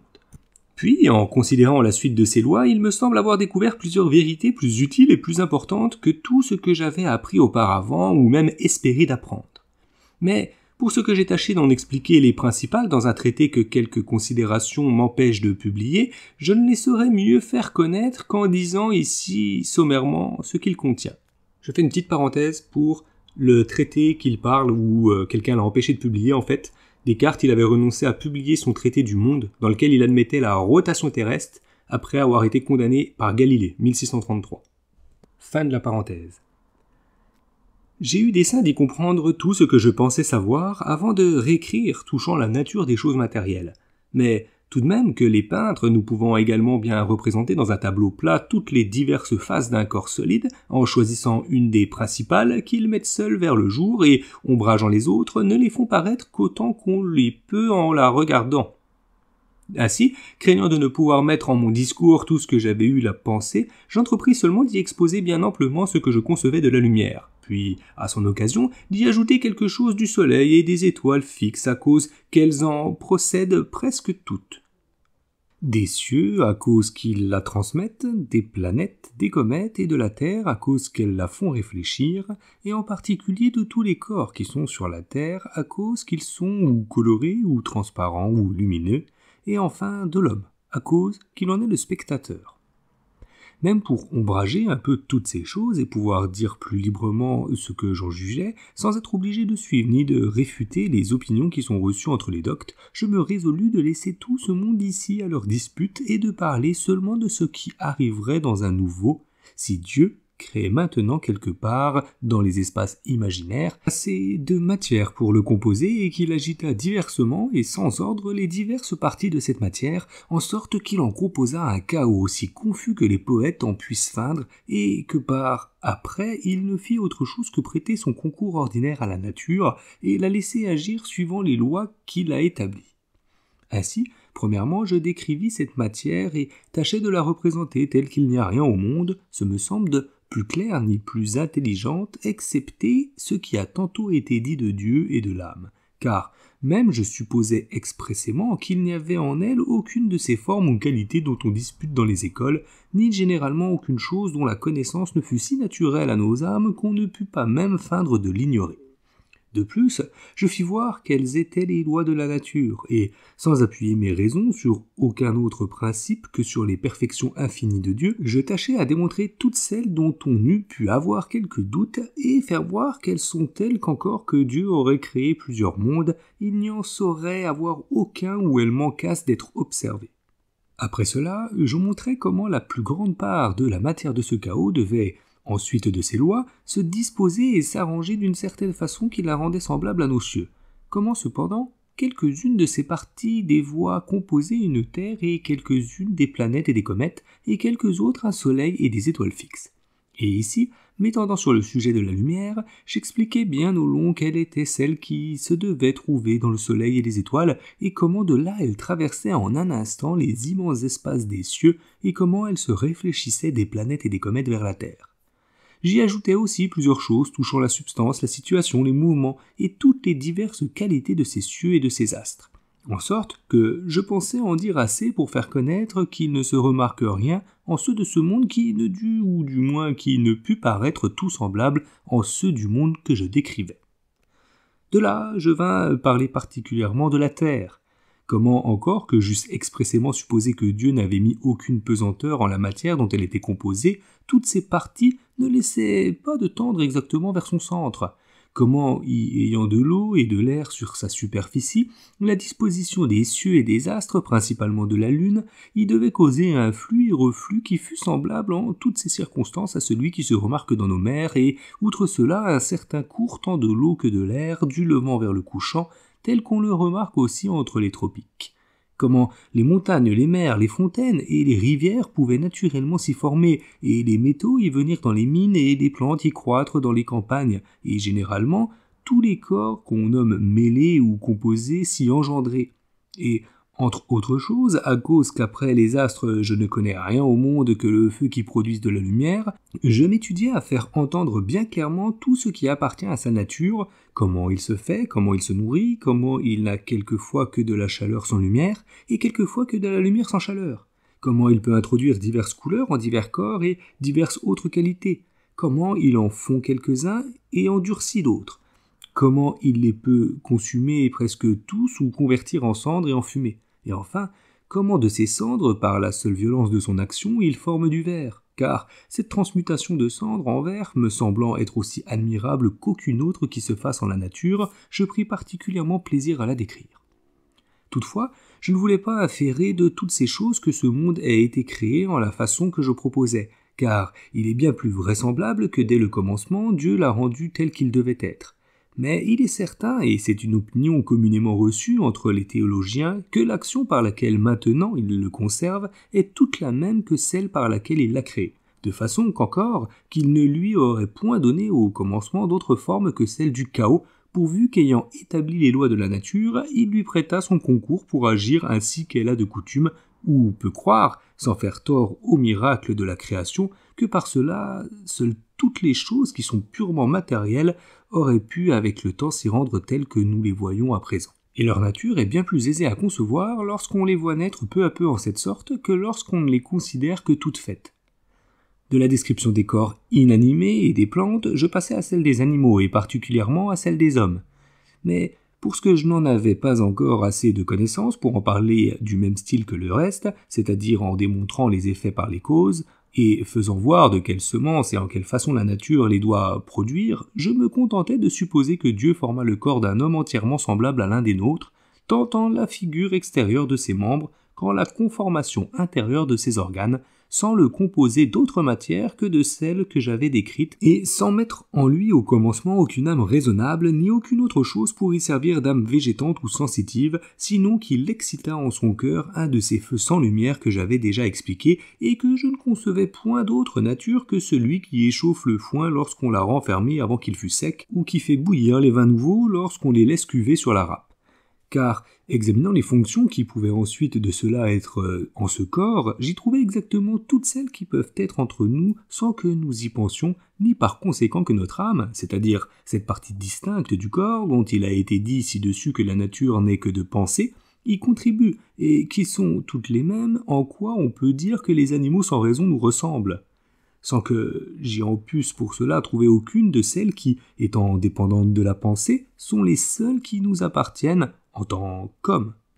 Au lieu que je les y trouvais toutes par après, ayant supposé que Dieu créa une âme raisonnable et qu'il la joignit à ce corps en certaines façons que je décrivais. Mais afin qu'on puisse en voir quelle sorte j'y traitais cette matière, je veux mettre ici l'explication du mouvement du cœur et des artères qui, étant le premier et le plus général qu'on observe dans les animaux, on jugera facilement de lui ce qu'on doit penser de tous les autres. Et afin qu'on ait moins de difficulté à entendre ce que j'en dirai, je voudrais que ceux qui ne sont point versés en l'anatomie prissent la peine avant que de lire ceci, de faire couper devant eux le cœur de quelque grand animal qui ait des poumons, car il est en tous assez semblable à celui de l'homme, et qu'ils se fissent montrer les deux chambres ou concavités qui y sont. Premièrement, celle qui est dans son côté droit, à laquelle répondent deux tuyaux fort larges, à savoir la veine cave, qui est le principal réceptacle du sang, et comme le tronc de l'arbre dont toutes les autres veines du corps sont les branches, et la veine artérieuse, qui a été ainsi mal nommée pour ce que c'est en effet une artère, laquelle prenant son origine du cœur se divise, après en être sortie, en plusieurs branches qui vont se répandre partout dans les poumons. Puis celle qui est dans son côté gauche, à laquelle répondent en même façon deux tuyaux qui sont autant ou plus larges que les précédents, à savoir l'artère veineuse, qui a été aussi mal nommée, à cause qu'elle n'est autre chose qu'une veine, laquelle vient des poumons, où elle est divisée en plusieurs branches entrelacées avec celle de la veine artérieuse, et celle de ce conduit qu'on nomme le sifflet, par ou entre l'air de la respiration et la grande artère qui, sortant du cœur, envoie ses branches partout dans le corps. Je voudrais aussi qu'on leur montrât soigneusement les onze petites peaux qui, comme autant de petites portes, ouvrent et ferment les quatre ouvertures qui sont en ces deux concavités, à savoir trois à l'entrée de la veine cave, où elles sont tellement disposées qu'elles ne peuvent aucunement empêcher que le sang qu'elles contiennent ne coule dans la concavité droite du cœur, et toutefois empêchent exactement qu'il n'en puisse sortir. 3. L'entrée de la veine artérieuse qui, étant disposée tout au contraire, permettent bien au sang qui est dans cette concavité de passer dans les poumons, mais non pas à celui qui est dans les poumons d'y retourner. Et ainsi, deux autres à l'entrée de l'artère veineuse qui laisse couler le sang des poumons vers la concavité gauche du cœur, mais s'oppose à son retour. Et trois à l'entrée de la grande artère qui lui permettent de sortir du cœur mais l'empêchent d'y retourner, et il n'est point besoin de chercher d'autres raisons du nombre de ces peaux, sinon que l'ouverture de l'artère veineuse étant en ovale, à cause du lieu où elle se rencontre, peut être commodément fermée avec deux, au lieu que les autres étant rondes le peuvent mieux être avec trois. De plus, je voudrais qu'on leur fît considérer que la grande artère et la veine artérieuse sont d'une composition beaucoup plus dure et plus ferme que ne sont l'artère veineuse et la veine cave et que ces deux dernières s'élargissent avant que d'entrer dans le cœur, ils font comme deux bourses nommées les oreilles du cœur, qui sont composées d'une chair semblable à la sienne. Et qu'il y a toujours plus de chaleur dans le cœur qu'en aucun autre endroit du corps. Et enfin que cette chaleur est capable de faire que, s'il entre quelques gouttes de sang en ses concavités, elles s'enflent promptement et se dilatent, ainsi que font généralement toutes les liqueurs lorsqu'on les laisse tomber goutte à goutte en quelques vaisseaux qui est fort chaud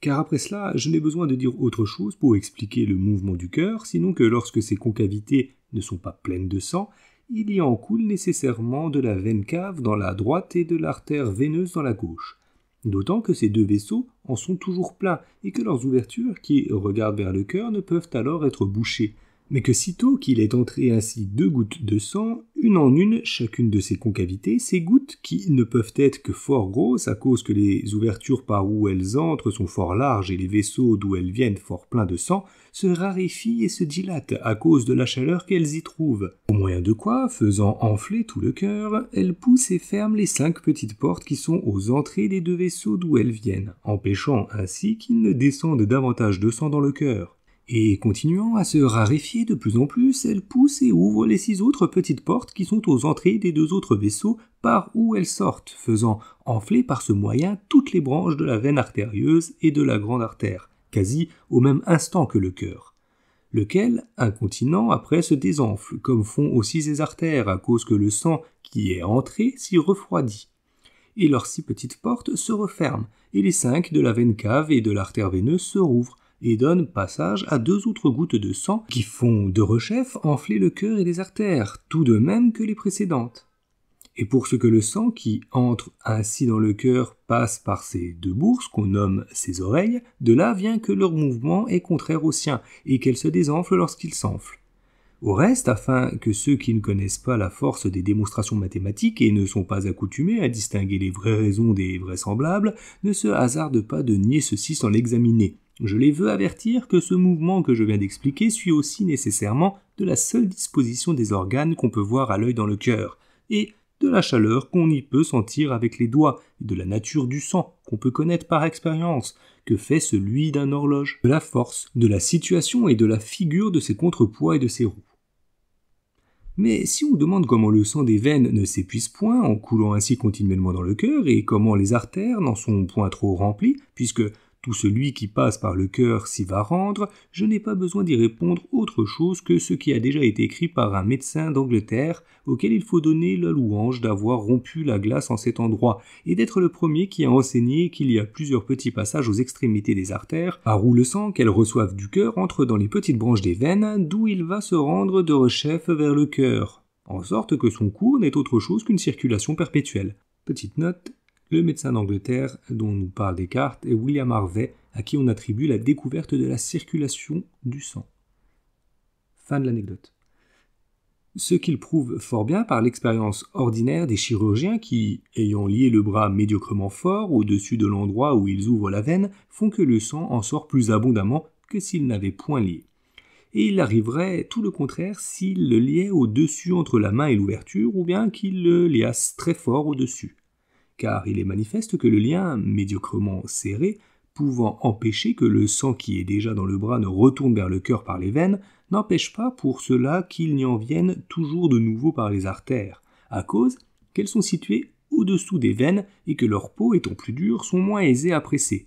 et aussi que le sang qui vient du cœur tend avec plus de force à passer par elles vers la main, qu'il ne fait à retourner de là vers le cœur par les veines. Et puisque ce sang sort du bras par l'ouverture qui est en l'une des veines, il doit nécessairement y avoir quelques passages au-dessous du lieu, c'est-à-dire vers l'extrémité du bras par où il puissent venir les artères.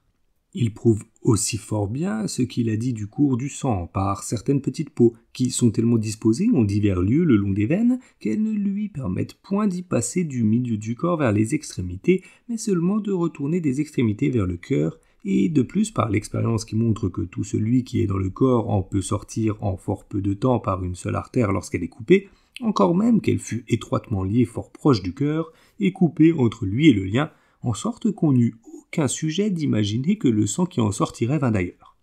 Mais il y a plusieurs autres choses qui témoignent que la vraie cause de ce mouvement de sang est celle que j'ai dite. Comme, premièrement, la différence qu'on remarque entre celui qui sort des veines et celui qui sort des artères ne peut procéder que de ce qu'étant raréfié et comme distillé en passant par le cœur. Il est plus subtil et plus vif et plus chaud incontinent après en être sorti, c'est-à-dire étant dans les artères, qu'il n'est un peu de vent que d'y entrer, c'est-à-dire étant dans les veines.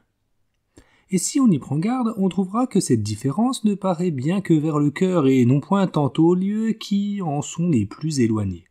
Puis, la dureté des peaux dont la veine artérieuse et la grande artère sont composées montre assez que le sang bat contre elles avec plus de force que contre les veines.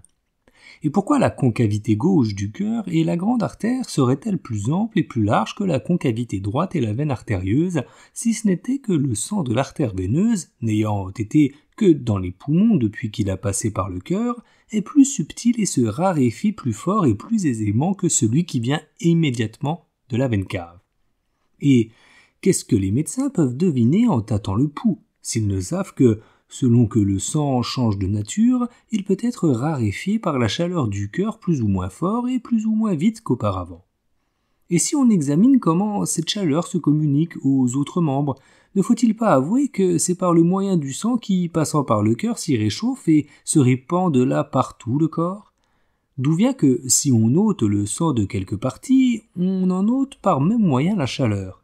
Et encore que le cœur fût aussi ardent qu'un fer embrasé, il ne suffirait pas pour réchauffer les pieds et les mains tant qu'il fait, s'il n'y envoyait continuellement de nouveau sang. Puis aussi, on connaît de là que le vrai usage de la respiration est d'apporter assez d'air frais dans le poumon pour faire que le sang qui y vient de la concavité droite du cœur, où il a été raréfié et comme changé en vapeur, s'y épaississe et convertisse en sang derechef, avant que de retomber dans la gauche, sans quoi il ne pourrait être propre à servir de nourriture au feu qui y est.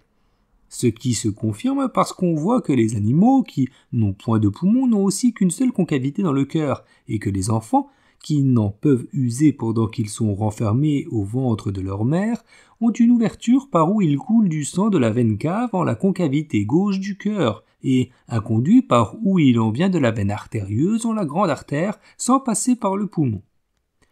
Puis la coction, comment se ferait-elle en l'estomac si le cœur n'y envoyait de la chaleur par les artères et avec cela quelques-unes des plus coulantes parties du sang qui aident à dissoudre les viandes qu'on y a mises?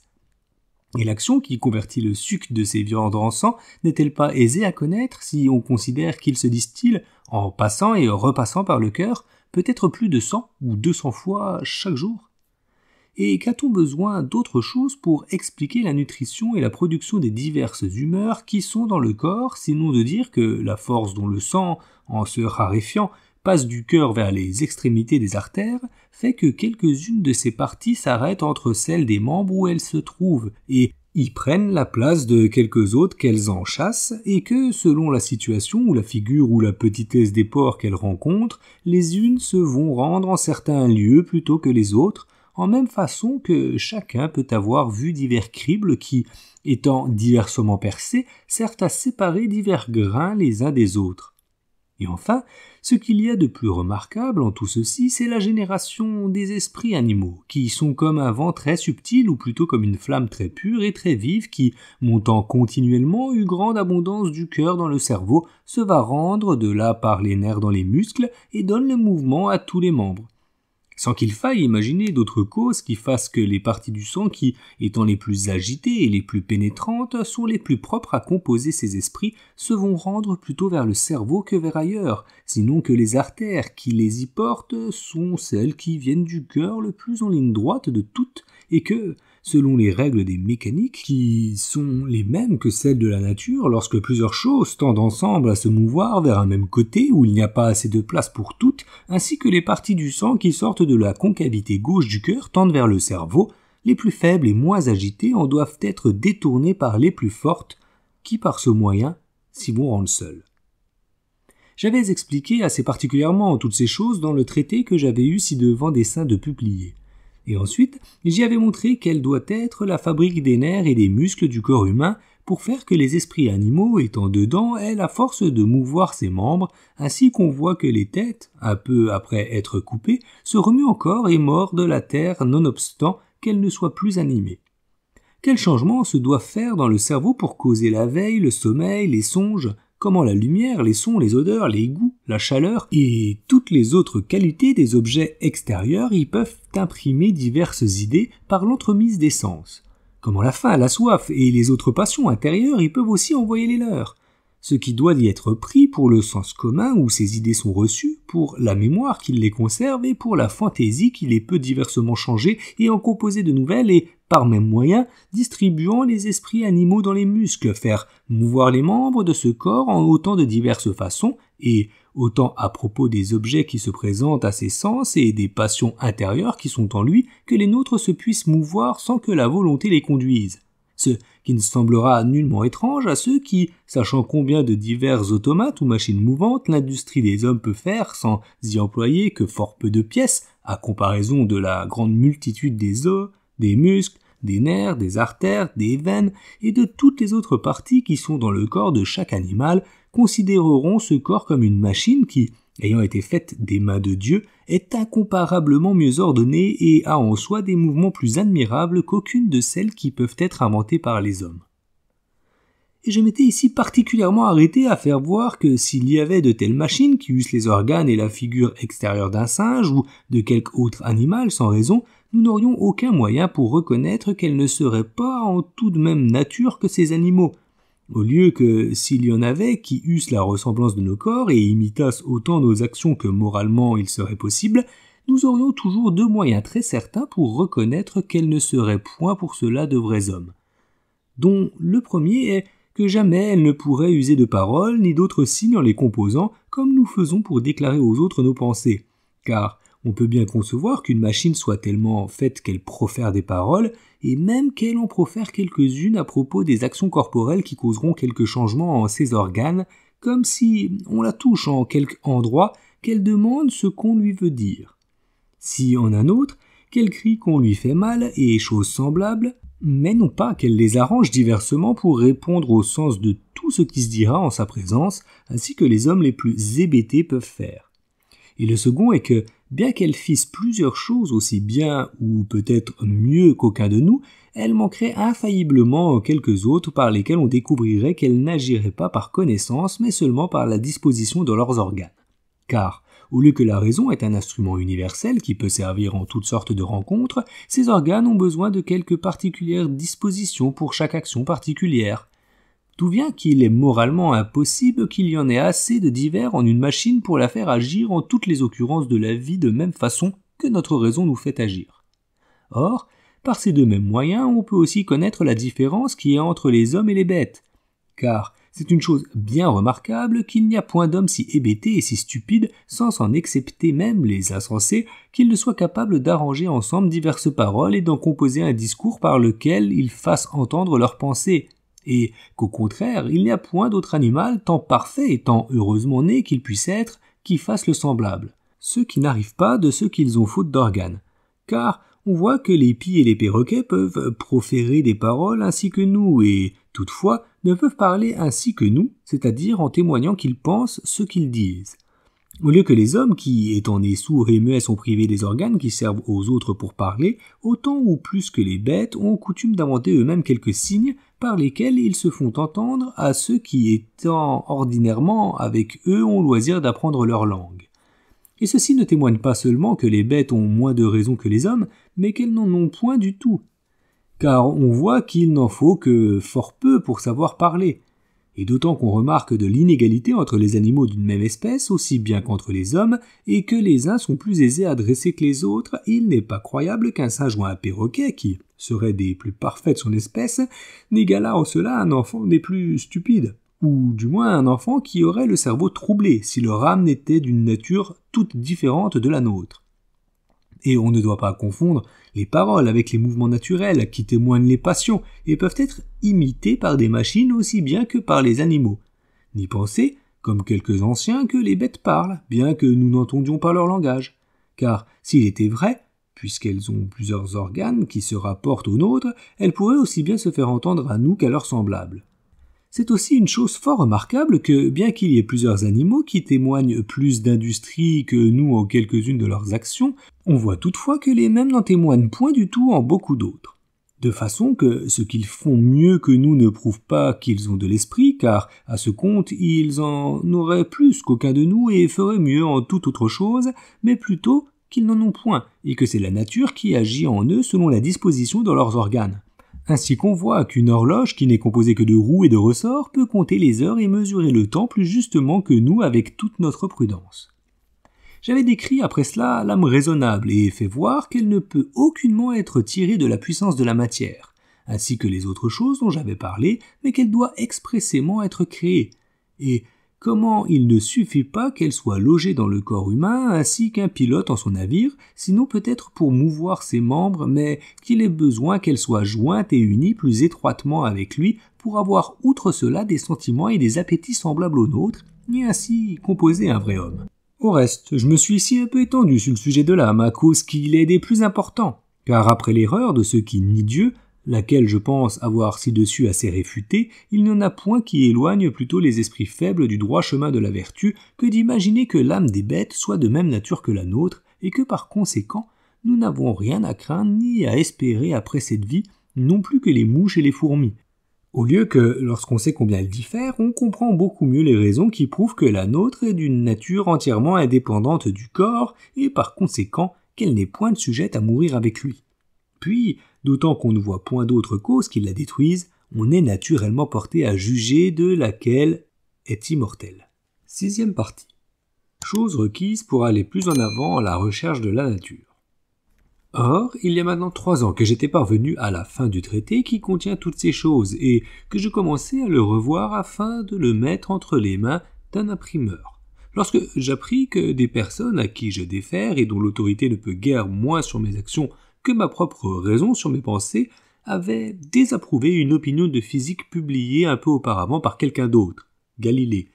de laquelle je ne veux pas dire que je fusse, mais bien que je n'y avais rien remarqué avant leur censure que je puisse imaginer être préjudiciable ni à la religion ni à l'État, ni par conséquent qui m'eût empêché de l'écrire si la raison me l'eût persuadé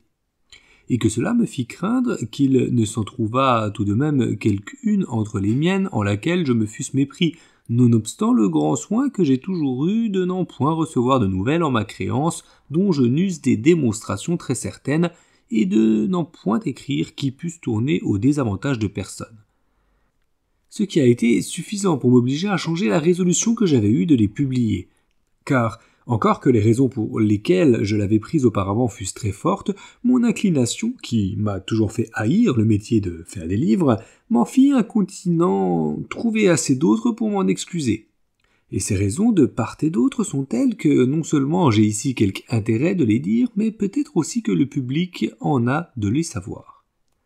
Je n'ai jamais fait beaucoup d'état des choses qui venaient de mon esprit, et pendant que je n'ai recueilli d'autres fruits de la méthode dont je me sers, sinon que je me suis satisfait touchant quelques difficultés qui appartiennent aux sciences spéculatives, ou bien que j'ai tâché de régler mes mœurs par les raisons qu'elles m'enseignaient, je n'ai point cru être obligé d'en rien écrire.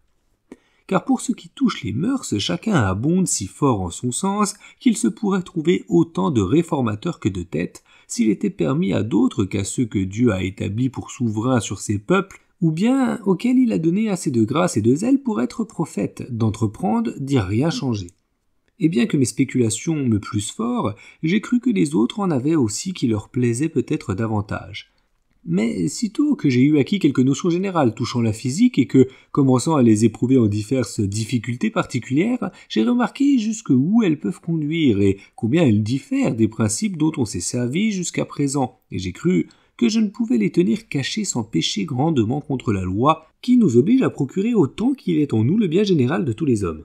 Car elles m'ont fait voir qu'il est possible de parvenir à des connaissances qui soient fort utiles à la vie et qu'au lieu de cette philosophie spéculative qu'on enseigne dans les écoles, on en peut trouver une pratique par laquelle, connaissant la force et les actions du feu, de l'eau, de l'air, des astres, des cieux et de tous les autres corps qui nous environnent, aussi distinctement que nous connaissons les divers métiers de nos artisans, nous les pourrions employer en même façon à tous les usages auxquels ils sont propres, et ainsi nous rendre comme maîtres et possesseurs de la nature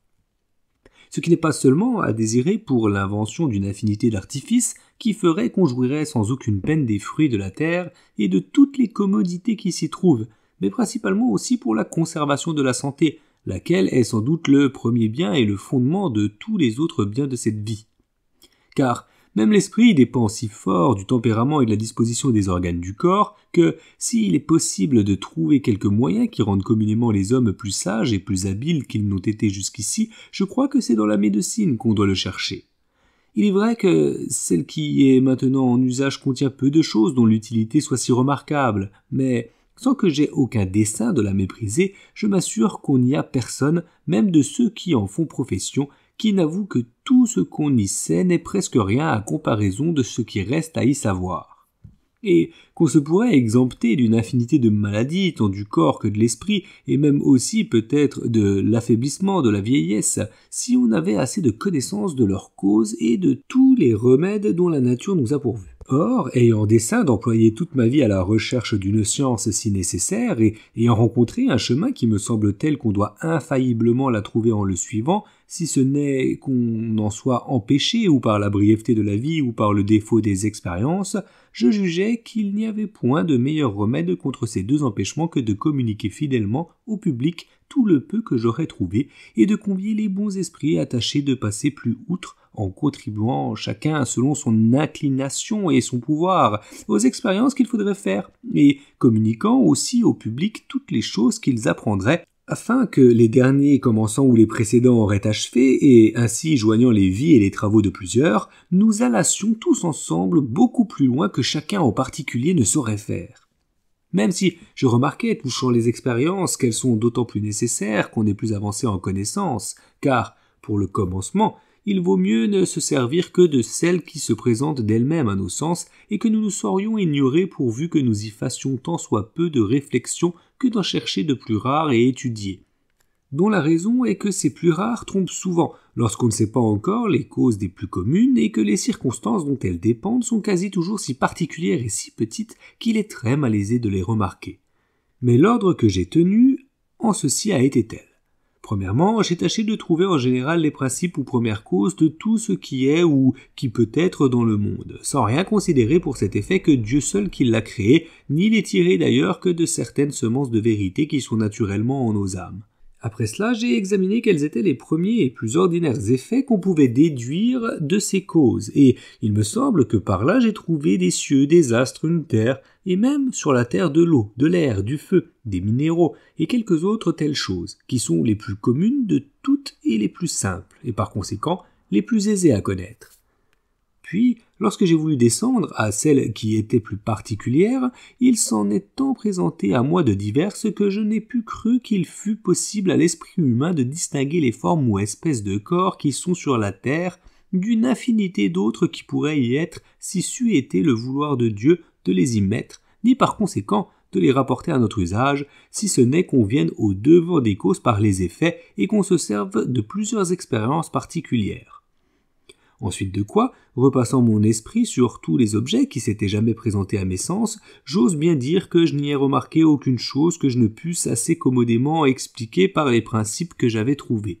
Mais il faut aussi que j'avoue que la puissance de la nature est si ample et si vaste, et que ses principes sont si simples et si généraux, que je ne remarque quasi plus aucun effet particulier que d'abord je ne connaisse qu'il pût être déduit en plusieurs diverses façons, et que ma plus grande difficulté est d'ordinaire de trouver en laquelle de ces façons il en dépend car à cela, je ne sais point d'autre expédient que de chercher de rechef quelques expériences qui soient telles que leur événement ne soit pas le même, si c'est en l'une de ces façons qu'on doit l'expliquer que si c'est en l'autre. Au reste, je suis maintenant là que je vois. Ce me semble assez bien de quel biais on se doit prendre à faire la plupart de celles qui peuvent servir à cet effet. Mais je vois aussi qu'elles sont telles et en si grand nombre que ni mes mains ni mon revenu, bien que j'en eusse mille fois plus que je n'en ai, ne sauraient suffire pour toutes. En sorte que, selon que j'aurai désormais la commodité d'en faire plus ou moins, j'avancerai aussi plus ou moins la connaissance de la nature, ce que je me promettais de faire connaître par le traité que j'avais écrit et d'y montrer si clairement l'utilité que le public peut en recevoir, que j'obligerai tous ceux qui désirent en général le bien des hommes, c'est-à-dire tous ceux qui sont en effet vertueux et non point par faux semblant ni seulement par opinion, tentent à me communiquer celles qu'ils ont déjà faites qu'à m'aider en la recherche de celles qui restent à faire. Mais j'ai eu depuis ce temps-là d'autres raisons qui m'ont fait changer d'opinion et penser que je devais véritablement continuer d'écrire toutes les choses que je jugeais de quelque importance à mesure que j'en découvrais la vérité et y apporter le même soin que si je les voulais faire imprimer, tant afin d'avoir d'autant plus d'occasion de les bien examiner comme sans doute on regarde toujours de plus près à ce qu'on croit devoir être vu par plusieurs qu'à ce qu'on ne fait que par soi-même, et souvent les choses qui m'ont semblé vraies lorsque j'ai commencé à les concevoir m'ont paru fausses lorsque je les ai voulu mettre sur le papier, qu'afin de ne perdre aucune occasion de profiter au public si j'en suis capable et que si mes écrits valent quelque chose, ceux qui les sauront après ma mort en puissent user ainsi qu'il sera le plus à propos. Mais que je ne devais aucunement consentir qu'ils fussent publiés pendant ma vie, afin que ni les oppositions et controverses auxquelles ils seraient peut-être sujets, ni même la réputation telle qu'elle qu'ils pourraient m'acquérir, ne me donnassent aucune occasion de perdre le temps que j'ai dessein d'employer à m'instruire. Car, bien qu'il soit vrai que chaque homme est obligé de procurer autant qu'il est en lui le bien des autres, et que c'est proprement ne valoir rien que de n'être utile à personne, toutefois il est vrai aussi que nos soins se doivent étendre plus loin que le temps présent, et qu'il est bon d'omettre les choses qui apporteraient peut-être quelque profit à ceux qui vivent, lorsque c'est à dessein d'en faire d'autres qui en apportent davantage à nos neveux. Comme en effet, je veux bien qu'on sache que le peu que j'ai appris jusqu'ici n'est presque rien à comparaison de ce que j'ignore, et que je ne désespère pas de pouvoir apprendre car c'est quasi le même de ceux qui découvrent peu à peu la vérité dans les sciences que de ceux qui, commençant à devenir riches, ont moins de peine à faire de grandes acquisitions qu'ils n'ont eu auparavant, étant plus pauvres, à en faire de beaucoup moindres. Ou bien on peut les comparer aux chefs d'armée dont les forces ont coutume de croître à proportion de leur victoire et qui ont besoin de plus de conduite pour se maintenir après la perte d'une bataille qu'ils n'ont, après l'avoir gagnée, à prendre des villes et des provinces. Car c'est véritablement donner des batailles que de tâcher à vaincre toutes les difficultés et les erreurs qui nous empêchent de parvenir à la connaissance de la vérité, et c'est en perdre une que de recevoir quelques fausses opinions touchant une matière un peu générale et importante. Il faut après beaucoup plus d'adresse pour se remettre au même état qu'on était auparavant, qu'il ne faut à faire de grands progrès lorsqu'on a déjà des principes qui sont assurés. Pour moi, si j'ai ci-devant trouvé quelques vérités dans les sciences, et j'espère que les choses qui sont contenues en ce volume feront juger que j'en ai trouvé quelques-unes, je puis dire que ce ne sont que des suites et des dépendances de cinq ou six principales difficultés que j'ai surmontées et que je compte pour autant de batailles où j'ai eu l'heure de mon côté. Même, je ne craindrais pas de dire que je ne pense n'avoir plus besoin d'en gagner que deux ou trois autres semblables pour venir entièrement à bout de mes desseins et que mon âge n'est point si avancé que, selon le cours ordinaire de la nature, je ne puisse encore avoir assez de loisirs pour cet effet. Mais je crois être d'autant plus obligé à ménager le temps qui me reste que j'ai plus d'espérance de le pouvoir bien employer, et j'aurai sans doute plusieurs occasions de le perdre si je publiais les fondements de ma physique, car encore qu'ils soient presque tous si évidents qu'il ne faut que les entendre pour les croire, et qu'il n'y en ait aucune dont je ne pense pouvoir donner des démonstrations, toutefois, à cause qu'il est impossible qu'il soit accordant avec toutes les diverses opinions des autres hommes, je prévois que je serai souvent diverti par les oppositions qu'il ferait naître. On peut dire que ces oppositions seraient utiles tant afin de me faire connaître mes fautes qu'afin que, si j'avais quelque chose de bon, les autres en eussent par ce moyen plus d'intelligence, et comme plusieurs peuvent plus voir qu'un homme seul que, commençant dès maintenant à s'en servir, ils m'aidassent aussi de leurs inventions. Mais encore que je me reconnaisse extrêmement sujet à faillir et que je ne me fie quasi jamais aux premières pensées qui me viennent, toutefois l'expérience que j'ai des objections qu'on me peut faire m'empêche d'en espérer aucun profit car j'ai déjà souvent éprouvé les jugements tant de ceux que j'ai tenus pour mes amis que de quelques autres à qui je pensais être indifférent, et même aussi de quelques-uns dont je savais que la malignité et l'envie tâcheraient assez à découvrir ce que l'affection cacherait à mes amis. Mais il est rarement arrivé qu'on m'ait objecté quelque chose que je n'eusse point du tout prévu, si ce n'est qu'elle fût fort éloignée de mon sujet. En sorte que je n'ai quasi jamais rencontré aucun censeur de mes opinions qui ne me semblât ou moins rigoureux ou moins équitable que moi-même. Et je n'ai jamais remarqué non plus que par le moyen des disputes qui se pratiquent dans les écoles, on n'ait découvert aucune vérité qu'on ignora auparavant. Car, pendant que chacun tâche de vaincre, on s'exerce bien plus à faire valoir la vraisemblance qu'à peser les raisons de part et d'autre. Et ceux qui ont été longtemps bons avocats ne sont pas pour cela par après meilleurs juges. Pour l'utilité que les autres recevraient de la communication de mes pensées, elle ne pourrait aussi être fort grande, d'autant que je ne les ai point encore conduites si loin qu'il ne soit besoin d'y ajouter beaucoup de choses avant que de les appliquer à l'usage. Et je pense pouvoir dire sans vanité que s'il y a quelqu'un qui en soit capable, ce doit être plutôt moi qu'aucun autre. Non pas qu'il ne puisse y avoir au monde plusieurs esprits incomparablement meilleurs que le mien, mais pour ce qu'on ne saurait si bien concevoir une chose et la rendre sienne lorsqu'on l'apprend de quelque autre que lorsqu'on l'invente soi-même, ce qui est si véritable en cette matière que, bien que j'ai souvent expliqué quelques-unes de mes opinions à des personnes de très bon esprit et qui, pendant que je leur parlais, semblaient les entendre fort distinctement, Toutefois, lorsqu'ils les ont redites, j'ai remarqué qu'ils les ont changées presque toujours en telle sorte que je ne les pouvais plus avouer pour miennes. À l'occasion de quoi, je suis bien aise de prier ici nos neveux de ne croire jamais que les choses qu'on leur dira viennent de moi, lorsque je ne les aurais point moi-même divulguées. Et je ne m'étonne aucunement des extravagances qu'on attribue à tous ces anciens philosophes dont nous n'avons point les écrits ni ne juge pas pour cela que leurs pensées aient été fort déraisonnables, vu qu'ils étaient des meilleurs esprits de leur temps, mais seulement qu'on nous les a mal rapportés. Comme on voit aussi que presque jamais il n'est arrivé qu'aucun de leurs sectateurs les ait surpassés. Et je m'assure que les plus passionnés de ceux qui suivent maintenant Aristote se croiraient heureux s'ils avaient autant de connaissances de la nature qu'il en a eu, encore même que ce fût à condition qu'ils n'en auraient jamais davantage.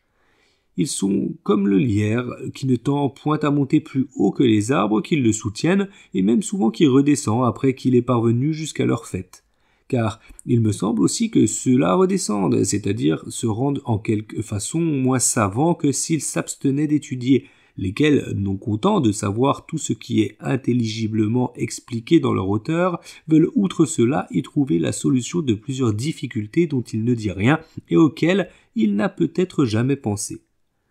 Toutefois, leur façon de philosopher est fort commode pour ceux qui n'ont que des esprits fort médiocres, car l'obscurité des distinctions et des principes dont ils se servent est cause qu'ils peuvent parler de toutes choses aussi hardiment que s'ils les savaient, et soutenir tout ce qu'ils en disent contre les plus subtils et les plus habiles, sans coup et moyen de les convaincre. En quoi il me semble pareil à un aveugle qui, pour se battre sans désavantage contre un qui voit, l'aurait fait venir dans le fond de quelque cave fort obscure, et je puis dire que ceux-ci ont intérêt que je m'abstienne de publier les principes de la philosophie dont je me sers, car, étant très simples et très évidents, comme ils sont, je ferais quasi le même en les publiant que si j'ouvrais quelques fenêtres et faisais entrer du jour dans cette cave où ils sont descendus pour se battre. Mais même les meilleurs esprits n'ont pas occasion de souhaiter de les connaître, car s'ils veulent savoir parler de toutes choses et acquérir la réputation d'être doctes, ils y parviendront plus aisément en se contentant de la vraisemblance qui peut être trouvée sans grande peine en toutes sortes de matières qu'en cherchant la vérité qui ne se découvre que peu à peu en quelques-unes et qui, lorsqu'il est question de parler des autres, oblige à confesser franchement qu'on les ignore. Que s'il préfère la connaissance de quelque peu de vérité à la vanité de paraître n'ignorer rien, comme sans doute elle est bien préférable, et qu'ils veuillent suivre un dessein semblable au mien, ils n'ont pas besoin pour cela que je leur dise davantage que ce que j'ai déjà dit en ce discours, car s'ils sont capables de passer plus outre que je n'ai fait, ils le sauront aussi à plus forte raison de trouver d'eux-mêmes tout ce que je pense avoir trouvé. D'autant que, n'ayant jamais rien examiné que par ordre, il est certain que ce qui me reste encore à découvrir est de soi plus difficile et plus caché que ce que j'ai pu ci-devant rencontrer, et ils auraient bien moins de plaisir à l'apprendre de moi que d'eux-mêmes. Outre que l'habitude qu'ils acquerront en cherchant premièrement des choses faciles et passant peu à peu par degrés à d'autres plus difficiles, leur servira plus que toutes mes instructions ne sauraient faire. Comme pour moi, je me persuade que si on m'eût enseigné dès ma jeunesse toutes les vérités dont j'ai cherché depuis les démonstrations, et que je n'eusse eu aucune à peine à les apprendre, je n'en aurais peut-être jamais su aucune autre, et du moins que jamais je n'aurais acquis l'habitude et la facilité que je pense avoir d'en trouver toujours de nouvelles à mesure que je m'applique à les chercher. Et en un mot, s'il y a au monde quelque ouvrage qui ne puisse être si bien achevé par aucun autre que par le même qui l'a commencé, c'est celui auquel je travaille. Il est vrai que, pour ce qui est des expériences qui peuvent y servir, un homme seul ne saurait suffire à les faire toutes. Mais il n'y saurait aussi employer utilement d'autres mains que les siennes, sinon celles des artisans ou tels gens qu'il pourrait payer et à qui l'espérance du gain, qui est un moyen très efficace, ferait faire exactement toutes les choses qu'il leur prescrirait. Car pour les volontaires qui, par curiosité ou désir d'apprendre, s'offriraient peut-être de lui aider, outre qu'ils ont pour l'ordinaire plus de promesses que des faits et qu'ils ne font que de belles propositions dont aucune jamais ne réussit, ils voudraient infailliblement être payés par l'explication de quelques difficultés ou du moins par des compliments et des entretiens inutiles qui ne lui seraient coûtés si peu de son temps qu'il n'y perdit et pour les expériences que les autres ont déjà faites, quand bien même ils les lui voudraient communiquer, ce que ceux qui les nomment des secrets ne feraient jamais, elles sont pour la plupart composées de tant de circonstances ou d'ingrédients superflus qu'il lui serait très malaisé d'en déchiffrer la vérité. Outre qu'il les trouverait presque toutes si mal expliquées, ou même si fausses, à cause que ceux qui les ont faites se sont efforcés de les faire paraître conformes à leurs principes, que s'il y en avait quelques-unes qui lui servissent, elles ne pourraient de rechef valoir le temps qu'il lui faudrait employer à les choisir de façon que s'il y avait au monde quelqu'un qu'on sût assurément être capable de trouver les plus grandes choses et les plus utiles au public qui puissent être, et que pour cette cause les autres hommes s'efforçassent par tout moyen de l'aider à venir à bout de ses desseins, je ne vois pas qu'il puisse autre chose pour lui sinon fournir aux frais des expériences dont il aurait besoin, et du reste empêcher que son loisir ne lui fût ôté par l'importunité de personne. Mais outre que je ne présume pas tant de moi-même que de vouloir rien promettre d'extraordinaire, ni ne me repais point de pensée si vaine que de m'imaginer que le public se doive beaucoup intéresser en mes dessins, je n'ai pas aussi l'âme si basse que je voulusse accepter de qui que ce fût aucune faveur qu'on pût croire que je n'aurais pas mérité. Toutes ces considérations jointes ensemble furent cause, il y a trois ans, je ne voulus point divulguer le traité que j'avais entre les mains, et même que je pris la résolution de n'en faire voir aucun autre pendant ma vie qui fût si général, ni duquel on pût prendre les fondements de ma physique. Mais il y a eu depuis de rechef deux autres raisons qui m'ont obligé à mettre ici quelques essais particuliers et à rendre au public quelques comptes de mes actions et de mes dessins. La première est que si j'y manquais, plusieurs qui ont su l'intention que j'avais eue ci-devant de faire imprimer quelques écrits pourrait s'imaginer que les causes pour lesquelles je m'en abstiens seraient plus à mon désavantage qu'elles ne sont. Car, bien que je n'aime pas la gloire par excès, ou même si j'ose le dire, que je la haïsse en tant que je la juge contraire au repos, lequel j'estime sur toute chose, toutefois aussi je n'ai jamais tâché de cacher mes actions comme des crimes, ni n'ai usé de beaucoup de précautions pour être inconnu tant à cause que j'eusse cru me faire tort qu'à cause que cela m'aurait donné quelque espèce d'inquiétude qui eût de rechef été contraire au parfait repos d'esprit que je cherche. Et pour ce que, m'étant toujours ainsi tenu indifférent entre le soin d'être connu ou de ne l'être pas, je n'ai pu m'empêcher que je naquisse quelque sorte de réputation. J'ai pensé que je devais faire mon mieux pour m'exempter au moins de l'avoir mauvaise. L'autre raison qui m'a obligé à écrire ceci est que, voyant tous les jours de plus en plus le retardement que souffre le dessin que j'ai de m'instruire, à cause d'une infinité d'expériences dont j'ai besoin, et qu'il est impossible que je fasse sans l'aide d'autrui, bien que je ne me flatte pas tant que d'espérer que le public prenne grande part en mes intérêts, toutefois je ne veux pas aussi me défaillir tant à moi-même que de donner sujet à ceux qui me survivront de me reprocher quelques jours que j'eusse pu leur laisser plusieurs choses beaucoup meilleures que je n'aurais fait, si je n'eusse point trop négligé de leur faire entendre en quoi ils pouvaient contribuer à mes dessins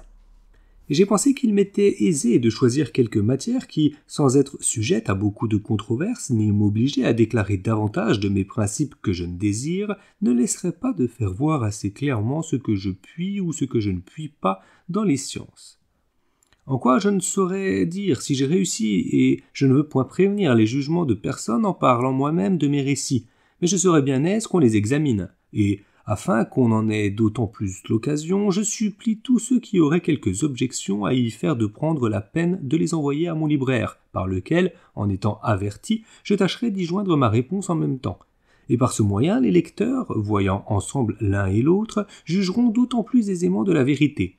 car je ne promets pas d'y faire jamais de longues réponses, mais seulement d'avouer mes fautes fort franchement, si je les connais, ou bien, si je ne les puis apercevoir, de dire simplement ce que je croirais être requis pour la défense des choses que j'ai écrites, sans y ajouter l'explication d'aucune nouvelle matière, afin de ne pas m'engager sans fin de l'une en l'autre. Que si quelques-unes de celles dont j'ai parlé au commencement de la dioptrique et des météores choquent d'abord, à cause que je les nomme des suppositions et que je ne semble pas avoir envie de les prouver, ait la patience de lire le tout avec attention, et j'espère qu'on s'en trouvera satisfait. Car il me semble que les raisons s'y entresuivent en telle sorte que, comme les dernières sont démontrées par les premières qui sont leurs causes, ces premières le sont réciproquement par les dernières qui sont leurs effets.